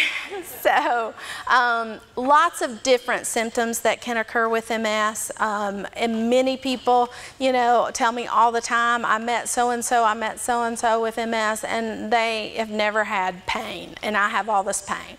Or they've never had what I experienced. So, a lot of different presentations and, and options for your um, symptom experience. So fatigue, I think Julie did a great job of talking about fatigue. The only thing I would add is it is by far the most common symptom with MS, and sometimes is the first symptom people experience. They just didn't know it was MS, right? Um, and it is significant. Okay, it's it's not what I experience if I didn't get my sleep. You know. Um, it's an overwhelming and very debilitating, debilitating problem potentially. So sometimes I think it's really important to have families involved in the discussions about fatigue, and patients feel a lot of guilt about that. And um, there's a lot of mind games that go on. Am I really, do I really feel this bad? Or, uh, so um, it's a real issue. Um, cognitive dysfunction also very common with MS. The good news is it's usually mild, okay? Um, and severe cognitive dysfunction is very less common with MS. Um, the problem is if you're tired or you're depressed, it can make your cognitive function worse, which we're going to talk more about. Depression, also a very common symptom with MS, and we used to think it was just because people with MS were dealing with all the issues that come along with it, right? I mean, um, but what we know now is it's actually a chemical reaction in your brain related to the disease process. It's just those chemicals get depleted from the disease process. So, um, just like if your thyroid wasn't working, you would take thyroid, um, you know, medicine. Um, eh, you know, antidepressants are kind of in the same category, and I know people really don't like to think of them that way, but what they do is replace those chemicals that are not present if um, you're having that symptom with your MS. So, if you have those three symptoms, you are not alone. I'm sure half the table probably has had them too.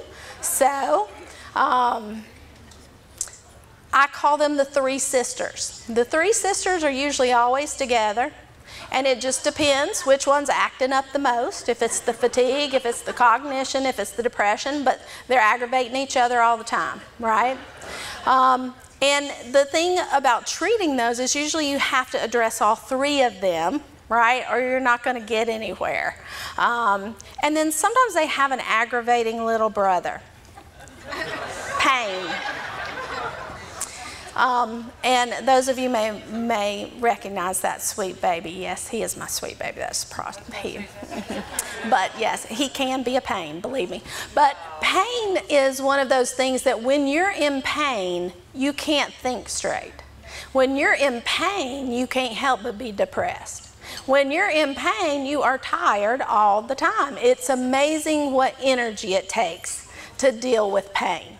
And although I don't have MS, I've had some health issues where I had a lot of pain, and it, it is very frustrating. So please talk to your provider about managing that. The thing about managing pain with MS is it's different than managing acute pain. So many times um, narcotics and those types of drugs don't work. So there are other things that we have to use. Okay? So, excuse me. Oftentimes we use different rehab um, alternatives, medication, rest, and exercise.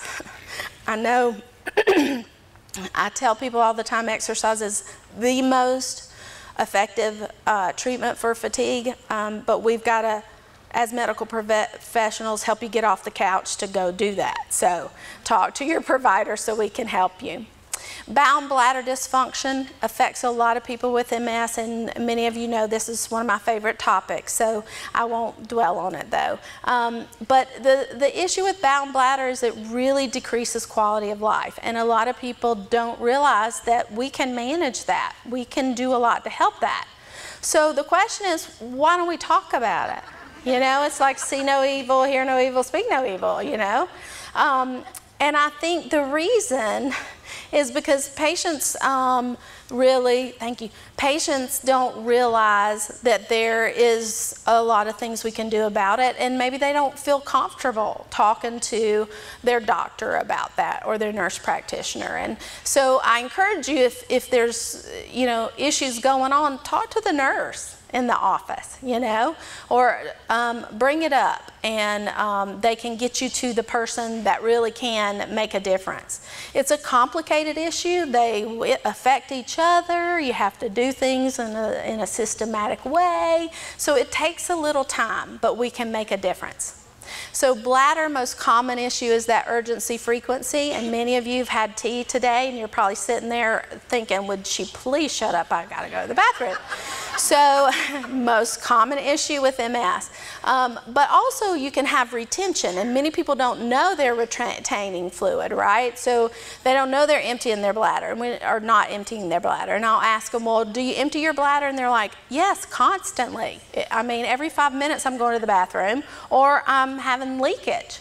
Well, sometimes what happens is the bladder's not emptying at all, and it's just the overflow that's happening. And sometimes the first clue for that is that people start having infections, urinary tract infections. So we really need to evaluate that if you've started having infections. Bowel problems you can have, most common thing is constipation.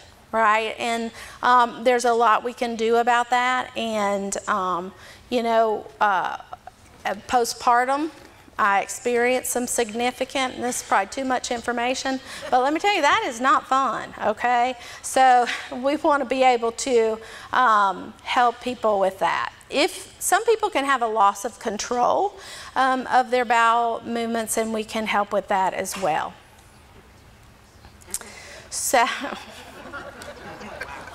um, those of you who play golf, that one was for you. So. Um, so muscle spasticity, very quickly, um, you know, can be just a generalized stiffness or active muscle um, spasms that you can see. Um, a lot of times people with MS, um, this is what contributes to a lot of their pain. So a lot of times get, people get up in the morning and they say, it takes me, you know, 10 minutes to straighten up. Um, so sometimes we need to treat that uh, either throughout the day, sometimes just at bedtime. PT can be invaluable, physical therapy invaluable with that. And then um, other therapies like exercise, yoga, um, acupuncture, massage therapy, those things can be really helpful as well. And with that, I would encourage you to remember laughter is the best medicine. So please laugh every day as often as you can. Thank you.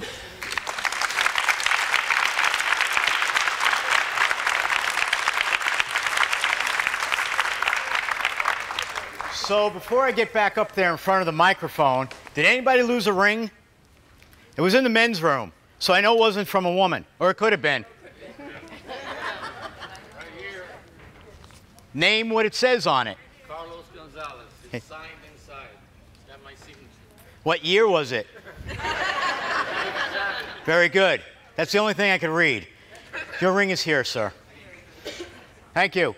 All right, so we are going to begin the question and answer period just shortly. If anybody wrote out any questions because maybe you're a little shy and you don't want to stand up and ask, that's fine. We have volunteers that are going to go around and pick these up from you.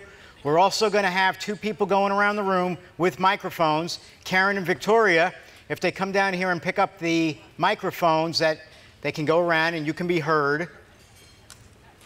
Okay, and then each presenter that answers the questions, we'll ask, we'll, we will need you to repeat those questions so that way our viewing audience can hear it as well. So, before we get into that, of course, we have to do another raffle. So, excuse me one second. Get your tickets out, right? Nobody has more than one, right? 360 291. 360 291. By the way, I forgot to tell you what you're about to win. You're about to win a I'm not drunk, I have MS t shirt. Okay? So again, I will ask 360 291. Come on down. She's going to get that microphone there, and I'll take this one and do this side of the room. Okay. Those are over there. You get that one, Victoria? They're both over there. They are where? Both on the table. So, excuse me one second. This we got to turn on. This you got to turn on. All right. And here, do that while I'm doing that. Okay. All right. So again, we're going to do another one for another one of these T-shirts, okay? Because it got such a good laugh. Why not keep going? 360 246. 246. Who do we appreciate? No 246? You sure? Okay, come on down. Thank you. And we're going to do one more real quick before we get to our final three in a little while. Thank you. Thank you. This is a donation to Maggiano's. I mean, not a donation. It's a, it's a. you can, you will be donating when you go there. You will be giving them lots of money, I hear. But anyway, this is a uh, discount certificate for you to go to Maggiano's. All right, and um, so we're going to draw this. And again, I'm still wearing this guy's ring because he still hasn't made it over here. If he forgets at the end of the day, I'm going home with a new ring. But I'm going to have to explain his name on my finger. Not going to go over so good. All right, 360 280. 280. 280. What's the matter? You don't want a t shirt? Or is that what I was doing? No, I was doing the uh, Maggianos. Maggianos. Nobody wants it? Another number. 360 358. In the back. Way, way in the back. Okay, great. Come on down. All right, thank you. All right, so we have our two volunteers going out into the audience right now. This, I have to ask our presenters to come on forward so that way you could ask some questions. Did I say I was going to do that next? Okay, good. So Tracy and Julie are come on up. You're coming in the box? Yeah, I just saw that. Am I giving you these? Yes, please. Okay. All right. I think these are gonna be all. I have to give you, I have to give you one of these. All right. I So- still got mine, so. You still have yours. Oops, you don't want my cell phone. Maybe you do. All right. So this is for you. You could hold it. All right. Hold that up. Speak into the mic as well. Repeat the questions, please. And so before they go around the, the audience here to uh, pick up the uh, different questions, I have a couple of them that were handed to me. The first one is about button assistive devices. Do you have one to demonstrate? I do. You gotta speak into the mic. Okay. Do you want me to repeat the question? So the question is, with the button hook, do I have one to demonstrate? And I do. I just have to find it. You always need that. I'm just gonna set it right here. Um, Oh, here it is. Afterwards, while I give out some of these raffle things, can you read that question, give it out, and and um, this is for her. It's one and one. All right, you're gonna show them. I don't know if I'm gonna see it. Camera zooming in on. it. Okay. Here's one for both of you, okay?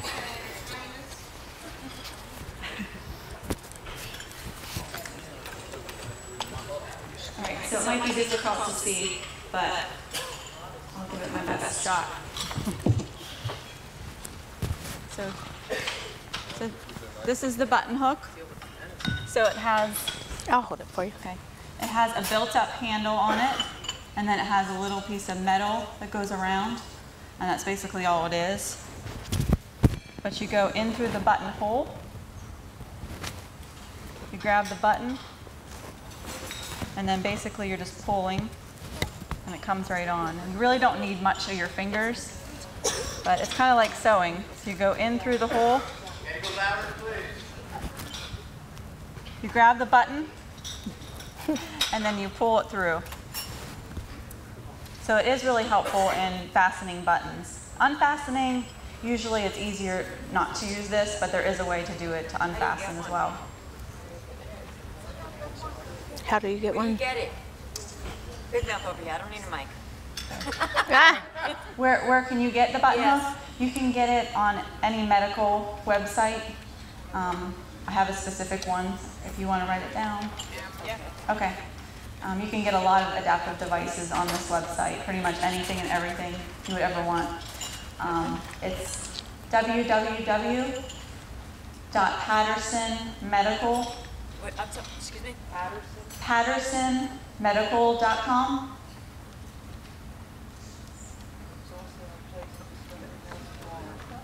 And if you ever come to Shepherd Center, they have some of this adaptive equipment in the gift shop, apothecary, pharmacy. So, Okay, so one um, next question. Um, are timed release Ampyra and Tecfidera being studied?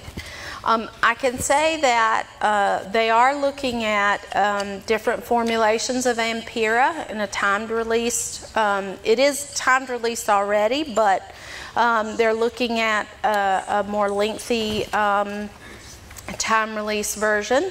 And I, saw something come across my email about that, and I didn't have time to read it, so I can't tell you anything more about that today, but they are looking at that.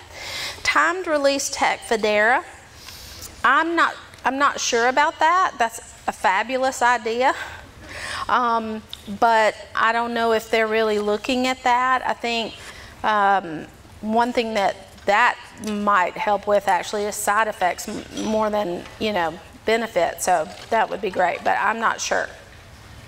Um, Julie, you just answered where can we get adaptive tools, right? I did. Okay. All right, and then this is a question about anything new with stem cells and um, their Schwann cells. Well, I don't know in specific. I know there's a lot of research in that arena going on, and um, you know, if you go on um, some of the um, uh, websites and look at the research, there's lots of different studies happening. One of the most encouraging things that I've seen recently is, um, you know, one of the, the challenges with stem cells is getting them to become what you want them to become. You know, and I think they're making progress in terms of uh, being able to uh, identify how to encourage them to become what they need to become. And um, so, a lot of technology working towards that as well. Okay, stem cell, uh, okay, cigar smoking.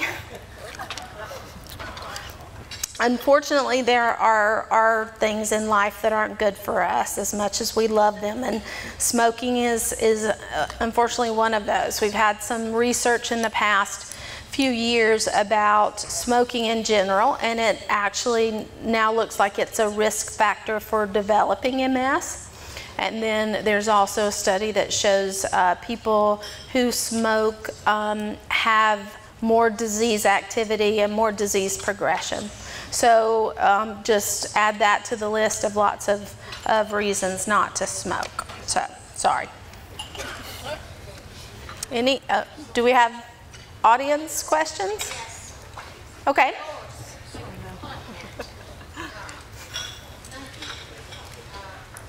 animals, old age, animal ones. But does the exacerbate, there's another condition, exasperate,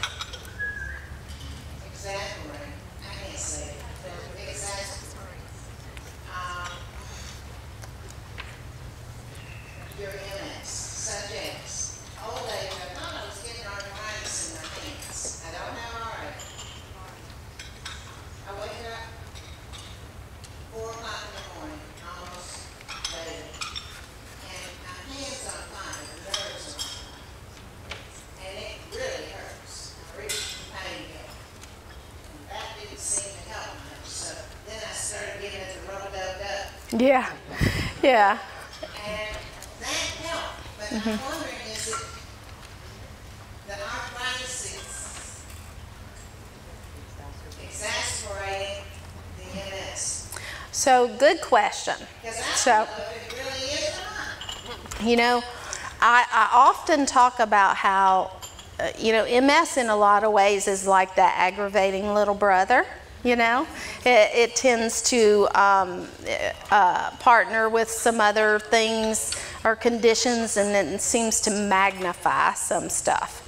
Um, and then there are other things that mm, worsen MS. You know, one of the things that I noticed that um, came out this week was about women and menopause and how um, that seems to, they both seem to make each other worse. So I think there's definitely um, uh, validity to that. And I think also, you know, with aging um, and the and the longer we we have the disease, you know, your body has something called neuroplasticity. You know, in the central nervous system, neuroplasticity is, you know, eh, your brain and your spinal cord, the ability for them to um, bypass and reroute signals and continue to do what they need to do despite the damage that's there.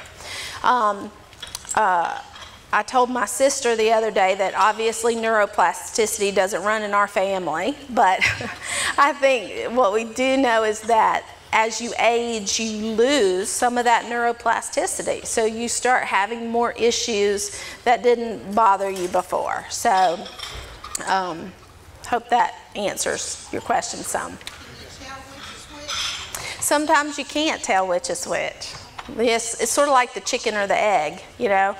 So, okay. I think somebody's coming with the microphone.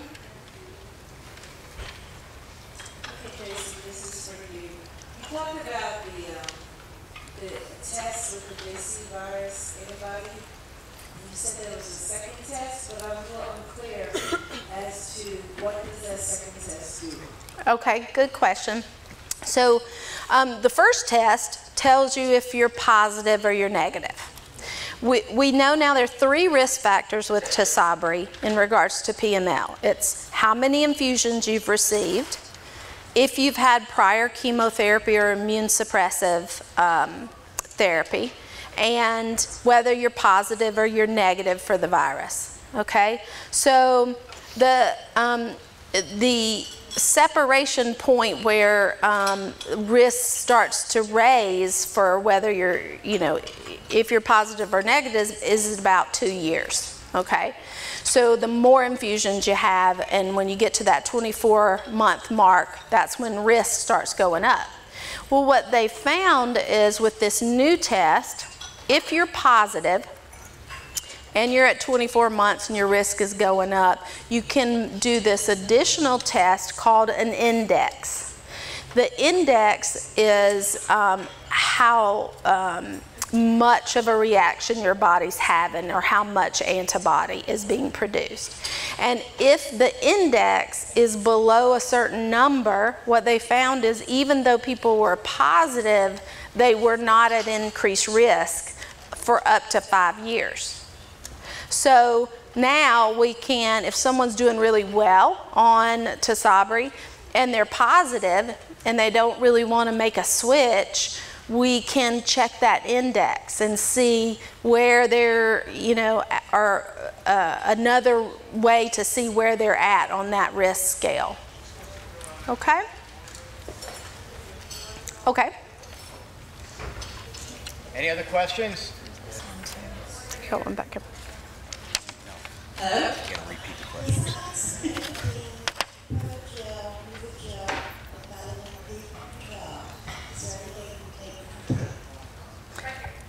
Re- repeat that one more time. Besides Mancini, Protogel, Protogel, and vitamin B12, so you can take for fatigue. Okay, so for fatigue medication, so the question was besides amantadine, Nuvigil, Provigil, and B12, is there anything else you can take for fatigue? Um, and there are uh, other things that we can try. Um, and, you know, the thing about um, medications for fatigue is um, some of them really they don't give you that body energy they give you more of that mental alertness you know um, the one exception to that may be Ampyra, which if you have that nerve fiber fatigue, where if you walk or you use a nerve fiber over and over again, it gets weak. Sometimes Ampyra can help with that type of fatigue. Um, there was uh, some studies looking at uh, acetyl L-carnitine, which is a dietary supplement, and I've had patients feel like that was beneficial. What they tell me is they don't see anything for a month, that they really kind of have to take that um, for a while. Um, and in terms of B12, I, I, usually advise people to take a B complex because, you know, sometimes the other Bs can help raise energy levels. Um, am I forgetting? Oh, if um, sometimes we will use the old-fashioned stimulants like Ritalin and Adderall and those things, uh, but again, you know, sometimes there's some side effects that go along with those, some challenges, and, and sometimes they're not especially helpful. Did I forget anything? Hmm? A what? A good Oh, a good goose. Oh my goodness. That's The next one. Okay. There you go. I'm gonna give this one to you, Grace. Okay. All right, let me do this. This. Oh, go ahead. Um, you know that most of these MS medicines work through altering our immune system, and the immune system is super complicated.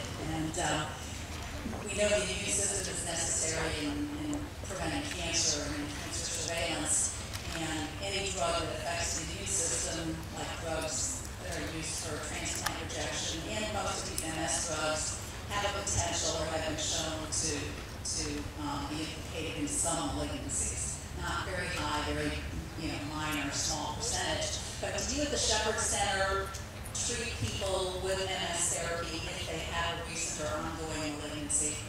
And if so, what treatment would you choose? And any other information about that?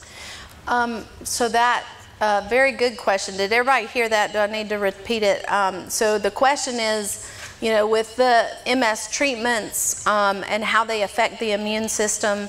The immune uh, system is also involved in preventing, you know, cancers and surveillance of cancers, that sort of thing. And so, does do we treat MS when somebody has cancer, or do you know? And if we do, with what? And I think, um, you know, unfortunately, you would think if you have MS, that should be all you have to deal with, right? That's enough. But unfortunately, some people do have other um, things happen to them. And a lot of it depends on what their treatment is for their cancer.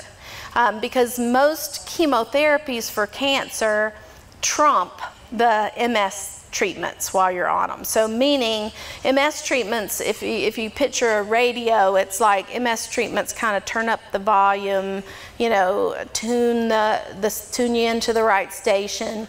Whereas true chemotherapy for most cancers is like taking a hammer and just smashing the radio. You know, they're getting rid of the immune system or the immune response. So many times we don't treat MS while people are receiving chemotherapy for uh, cancers.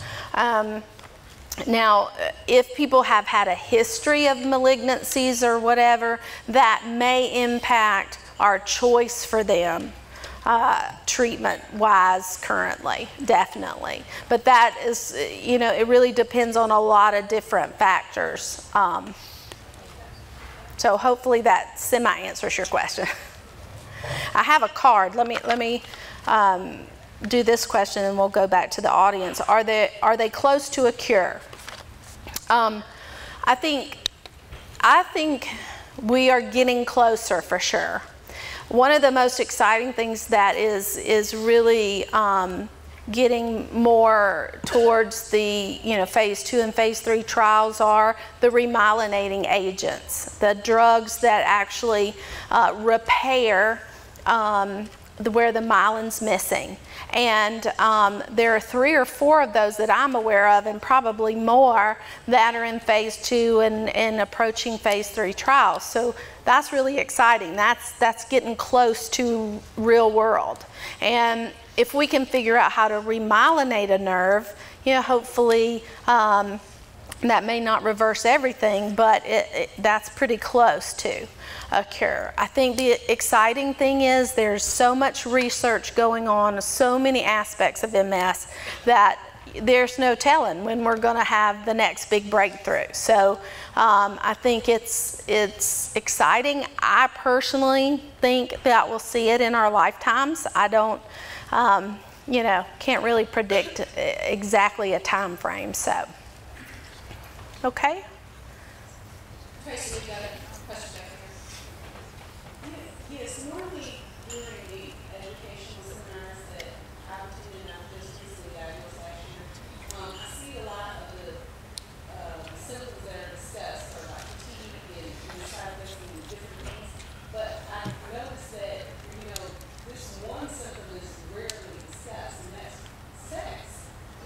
You know, what, what Uh huh.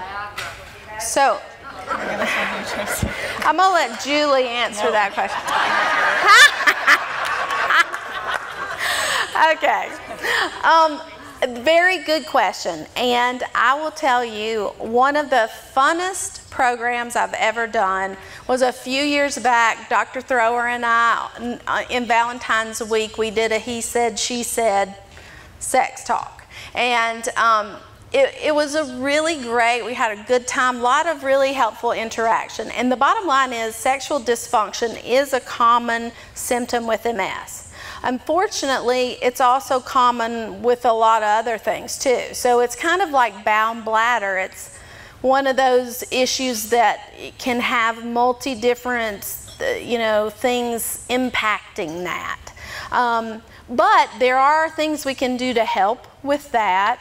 Um, and unfortunately, you know, us women, have to be more complicated, so sometimes the answers to our issues are not as easy, but um, there are answers, and um, so absolutely bring that up with your your uh, provider, and you know if they're not comfortable discussing that, then ask them to send you to somebody who would be comfortable discussing it. Another really good option is your OBGYN doctors or your urologists. Those people really specialize in that, those issues as well. So. And Tracy, you have a question? Mm-hmm. Hi Tracy, good to see you. Thanks. Um, I have a question relating to the regrowth myelin and stem cells. As far as the regrowth myelin, does stem cells come into play with that? And is it true that the older you get, the less effective your stem cells are?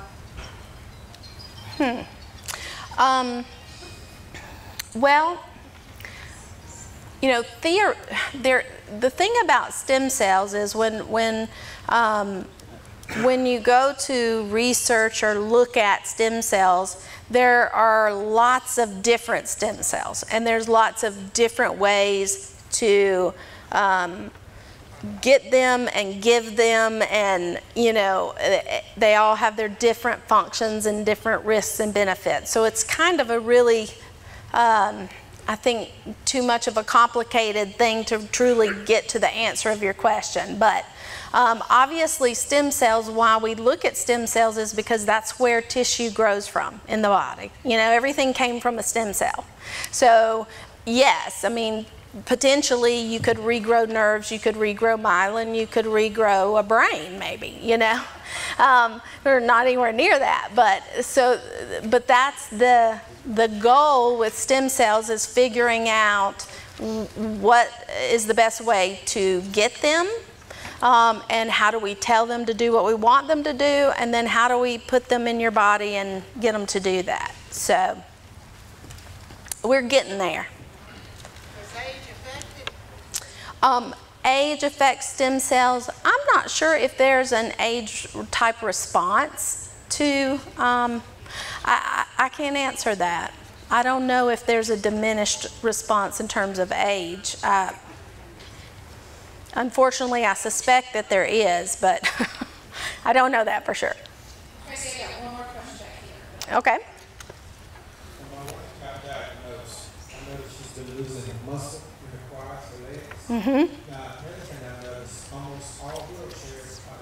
motorized or hand propelled to my knowledge, that if you don't use your muscle, you lose your muscle. I've been trying to find a leg propelled pedal wheelchair, and I mean, that's just for a long time. There's one in, in China, it's like five thousand dollars. When you get your slideshow up there, for a brief moment, it looks like I I saw a guy with a uh, foot propelled wheelchair. You have anybody, does anyone in this room know about any place where you can get a I think Julie is a great person to answer this one, so I'm going to hand it over to her. All right, so the question is Is there any type of wheelchair that is propelled by the legs? Is that your question? Okay. Um, with a manual wheelchair, you can use your legs just you know by taking the leg rests off, and you can use your legs to propel with your arms and kind of use both.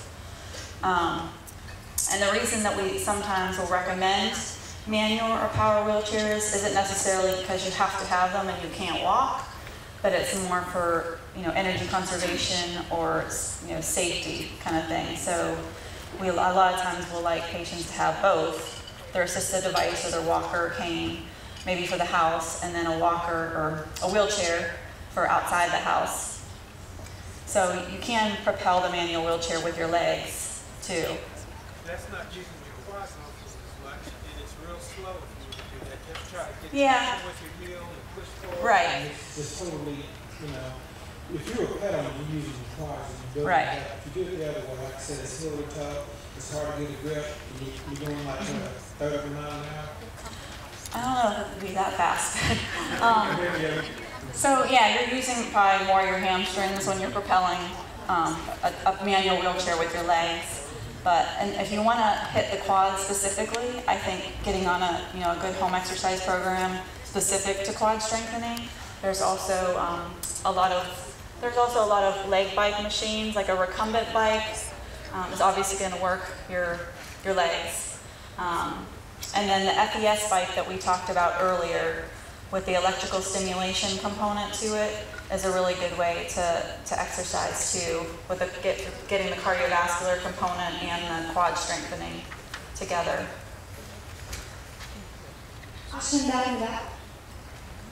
Tracy, I was always told that if you have MS, you shouldn't take the flu this vaccine or the shingles vaccine. Well, a couple weeks ago, I went to a presentation and the doctor said that his patients that he puts on oral medication, he gives them the shingles vaccine. And he said it just depends what medication you're on. Could you lend some clarity to that?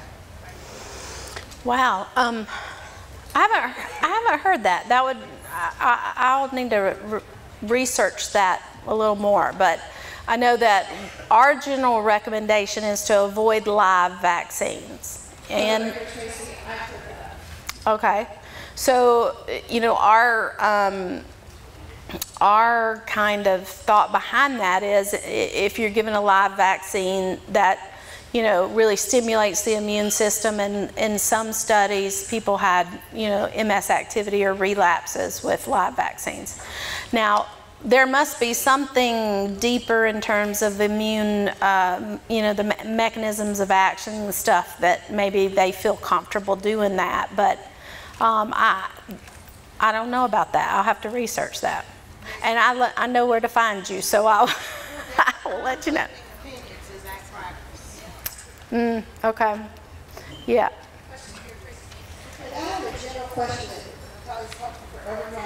We were somewhere and I hurt my back and my husband was with me, he has MS, and the doctor that, that he was seeing for me said to him, what's wrong with you, buddy? And, you know, we told him, and he went on this whole thing about changing the diet and that MS patients need to have less carbs, particularly no bananas, all this kind of stuff, because they're not good for patients with MS, but we can't find any real information out there that supports that. What does Shepherd say about the diet and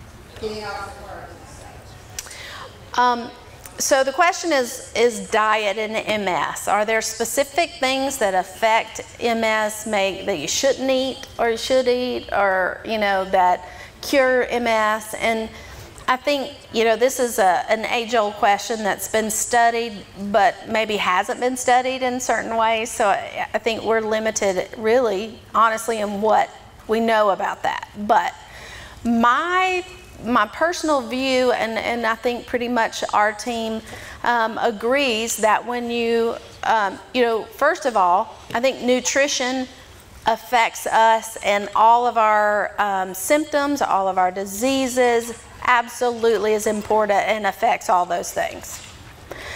Have we figured out for each per or for the general population a special diet that makes MS better or cures it or, or whatever? Um, and the answer to that thus far is not in any large high quality trials. Now, the Swank diet was studied extensively, and I do think he was on to something in regards to saturated fats. And obviously, now we know that's bad for lots of things. Um, Now, there is a lot of talk about gluten and, and gluten free diets for MS, a lot of talk about simple carbohydrates. And, you know, I personally think um, nutrition is um, as individualized as uh, the symptoms you may have from your MS. I think I may do better on more protein and less carbs or whatever, and you may do better on vegetarian. You know,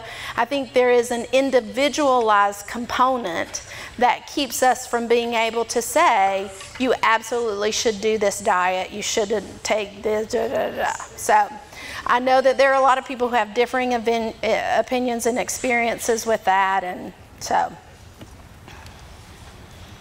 Other question? Yes, I've been reading, and I was reading that they might find a cause for MS with a bacteria in the intestines, two different types of bacteria. If you have a woman, it's most likely the cause, and they've been testing on mice, and to be very positive? Well, I know that we're looking at a lot of different triggers for MS. So the current theory is that you, you have to have the genetic um, predisposition or ability to get the disease, and that's what we've seen in genetic studies. But then we believe you encounter potential triggers, and I think they are identifying a lot of potential triggers, and one of those may be what you're talking about.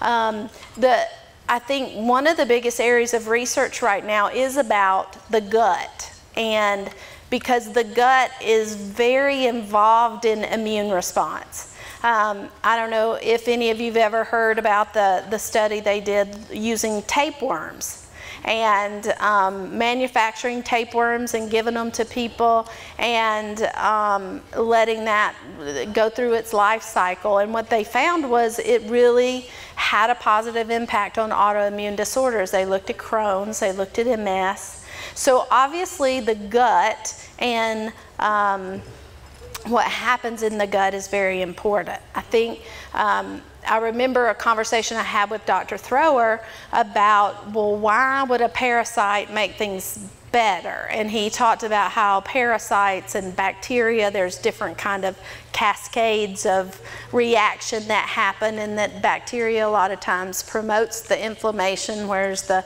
parasites, you know, help do something else. So um, that's the extent of my knowledge in regards to parasites and bacteria and immune response. But um, you know, they've looked at Epstein Barr, they've looked at vitamin D levels, um, smoking, um, and, and other things that they believe are potential triggers for the disease. I think the question is how many triggers do you have to encounter? Is there one? Is there five? Does it, you know? So it's interesting. Yeah. Seven more questions only. I was wondering if um, there's any research on um, meditation, especially mindfulness meditation. Oh my goodness, yes. Um, yes, and and some of the best research. So the question is, has there been research on mindfulness meditation in MS? And um, some really interesting, a huge body of research on mindfulness uh, and meditation has been done at Harvard, and basically it showed it affects everything. You know. Um, but mindfulness meditation, I think, is so uh, beneficial for so many different things. Um, and with the different um, symptoms that you have with MS, I think it really can impact those symptoms positively, you know. Um, and also, you know, we also know that stress, obviously, has a huge impact on MS. And mindfulness meditation is a great way of dealing with um, uh, stress levels in a more healthy way and, and sort of impacting their ability to do the bad things they do um, in MS. So um, I think it's awesome, and if you have opportunity to to practice that and learn that, um, great. Tracy. Yes. Last question. Uh, This gentleman would like to know, what is the incis- incident and the suicide rate among MS patients? Um, so what is what is um, suicide rate look like with MS? Unfortunately, um, there is a much greater um, risk of suicide among uh, MS patients, and um, and I. I can't remember the exact number, but I want to say it was seven times greater than general population. I'm not sure, but it's it's significant. And um, and you know, I think there's a lot of um, potential reasons for that. So that's that's why when when I talk to people about depression and treating their depression um, through not just medication, but counseling and and mindfulness meditation and all the tools that are available for that it's so important because um, you know you can find yourself in a very dark place quickly and um, a, a place that you don't have to go to, you know. And I think this type of meeting is awesome to bring people together and to foster hope and and um, educating people on what they can do and and the experiences that you can share with one another to help with that. Support groups. Support groups, yes, very big. The one thing I would add to that is please be very honest with your providers when you see them when you're feeling that way. Because it might be one of the medicines that we put you on, you know? Uh, it could be something medical that you're not even realizing is going on. So be honest um, so that we can evaluate your situation and, and uh, do something about that. So I, was that our? Okay, okay. Um, A few months ago in the Ask magazine, there was a person who made a comment regarding all the drugs that are out for relapsing remitting. And she had a concern, um, as far as the research, and I don't know that, and you may, you may know that, that as far as how much research was going into secondary progressive, primary progressive. I'm hopeful today because in seeing your list that you had up front, you did list the things that are out for research now, and I think you indicated one that you had indicated a positive result. Um, um, my question is, are you at liberty to say on the trials that are for primary progressive, um, how those are going? Positively, negatively, or? Yeah, I think, um, you know, the, the issue with progressive forms of MS is it's hard to measure those in a timely way.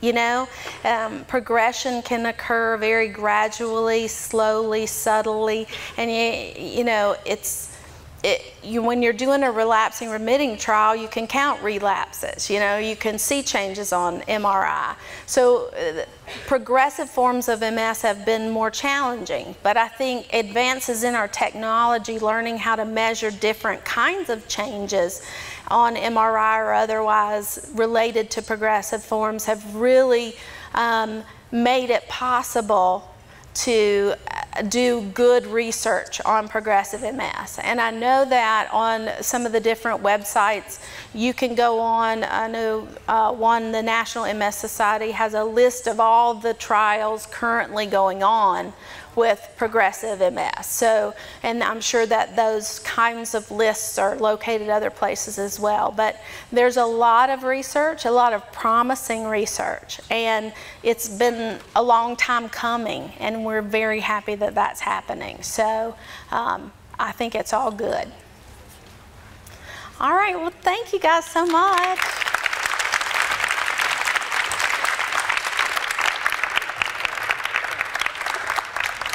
Hey, everybody. Don't leave. Still got another four raffles to go through. I need your mic. We got another four raffles to go through, and I got some great news. Aside from the fact that we have two great speakers here today, and I also want to say thank you. Both of you. So, this being our first time in Atlanta, I hope that we're here at least a couple more times in 2014 because I think that this is a great place for us to claim as our out of Florida home. Okay, and I want to thank all of you for that as well. Also, my granddaughter was watching it on YouTube and she wrote in, she's so happy for her pop up. I almost got a tear. That was good. Again, before we get into the final things going on here today, I want to again thank our sponsors. Again, it's very, very important that everybody know how much they actually do give back. They're not just making medications and they're not what everybody comes out with and all their terminology of whatever. There's a tremendous amount of research going on to help us get to that goal that Tracy was just talking about. To hopefully, hopefully we see a cure in our lifetimes. And again, I want to thank Bayer Healthcare and Biogen IDEC, Genzyme, a Sanofi company, Novartis, Questcor, Teva. Did I leave anybody out? I think I said Biogen IDEC. They're there too. Biogen IDEC helped us to do the actual webcast of today's program. So I want to thank them greatly for that too.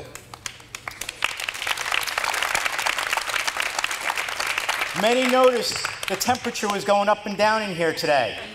Think of it as your own homes. Fight with your significant other to get the air too cool or too warm. All right? But that's what I was listening to from all of you. Well, not all of you, but many of you. I'm hot. I'm cold. It's freezing. I, come on, give me a break.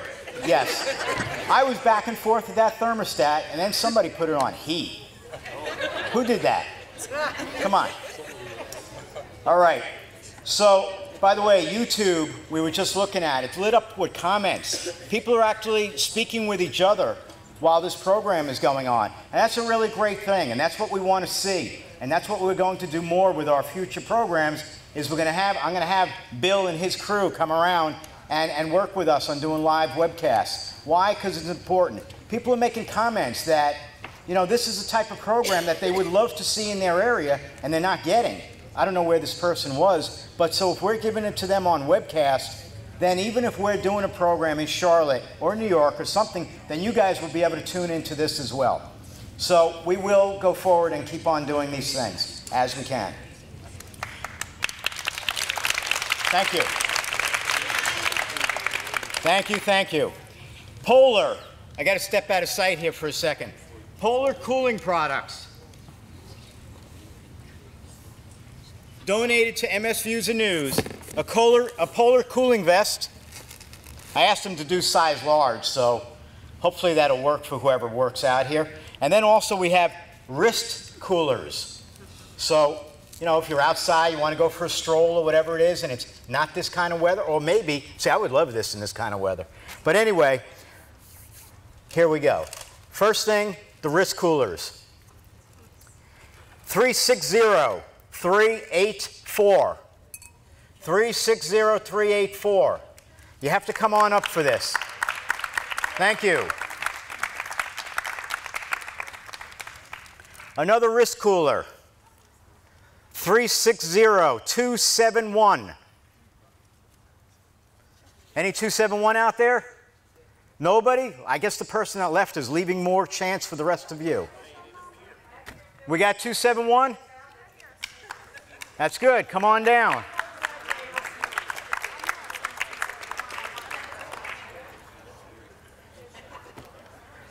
Again, my thanks to all of you for staying here today. It was a great program. If anybody wants to know and wants to see our programs, like I mentioned earlier, you just go to our YouTube channel. If you cannot remember the URL that I said, just go to our website. Okay, and up there under uh, blogs and video, you just click on there and you can access our YouTube channel. You can also ac access all of our newsletter archives. So you go into those newsletter archives and you find uh, or you want to know about pseudobulbar affect or you want to know about fatigue. Just type it into the search box, click enter. It'll show up. All the articles. So you might have too much to read. So along with this cooling vest, you have all the cooling packs. Yes, I'm mixing. You want me to hold up the bowl? I'm mixing. See? I'm mixing. And I'm smiling still. 3603. It's not you yet. Let me finish the number. 3603 1 2. 2. Do we have it? Okay, we have guy in the center here. Is that you? Perfect. All right, so we have an Android tablet here. Nobody wants that, I know. I gathered. I gathered. All right, so you'll be able to communicate better and watch for our newsletters and read all of our stuff from your bedroom. Thank you. And this is yours too. All the cooling vests, I mean, cool packs. Thank you, sir. Good. So, for the person that gets this Android tablet, you'll be able to keep up with all we do right from your bedroom. You can't complain that you can't do it. You could go out in the street as long as you have internet connection and you can connect with us. So, did you see them all dropping? 360 3 5 1. there we go. Before any of you leave here today, I want to say thank you again for coming. Please remember our evaluation forms that we need so that way we know what kind of program to bring you for the future. Again, thank you for coming down. See our people, our MS Views and News volunteers in the back. And we thank all of you for being with us today. And our speakers as well. And everybody that I may have forgotten. Thank you very much. Bye bye. I'm smiling. I'm still smiling. Thank you.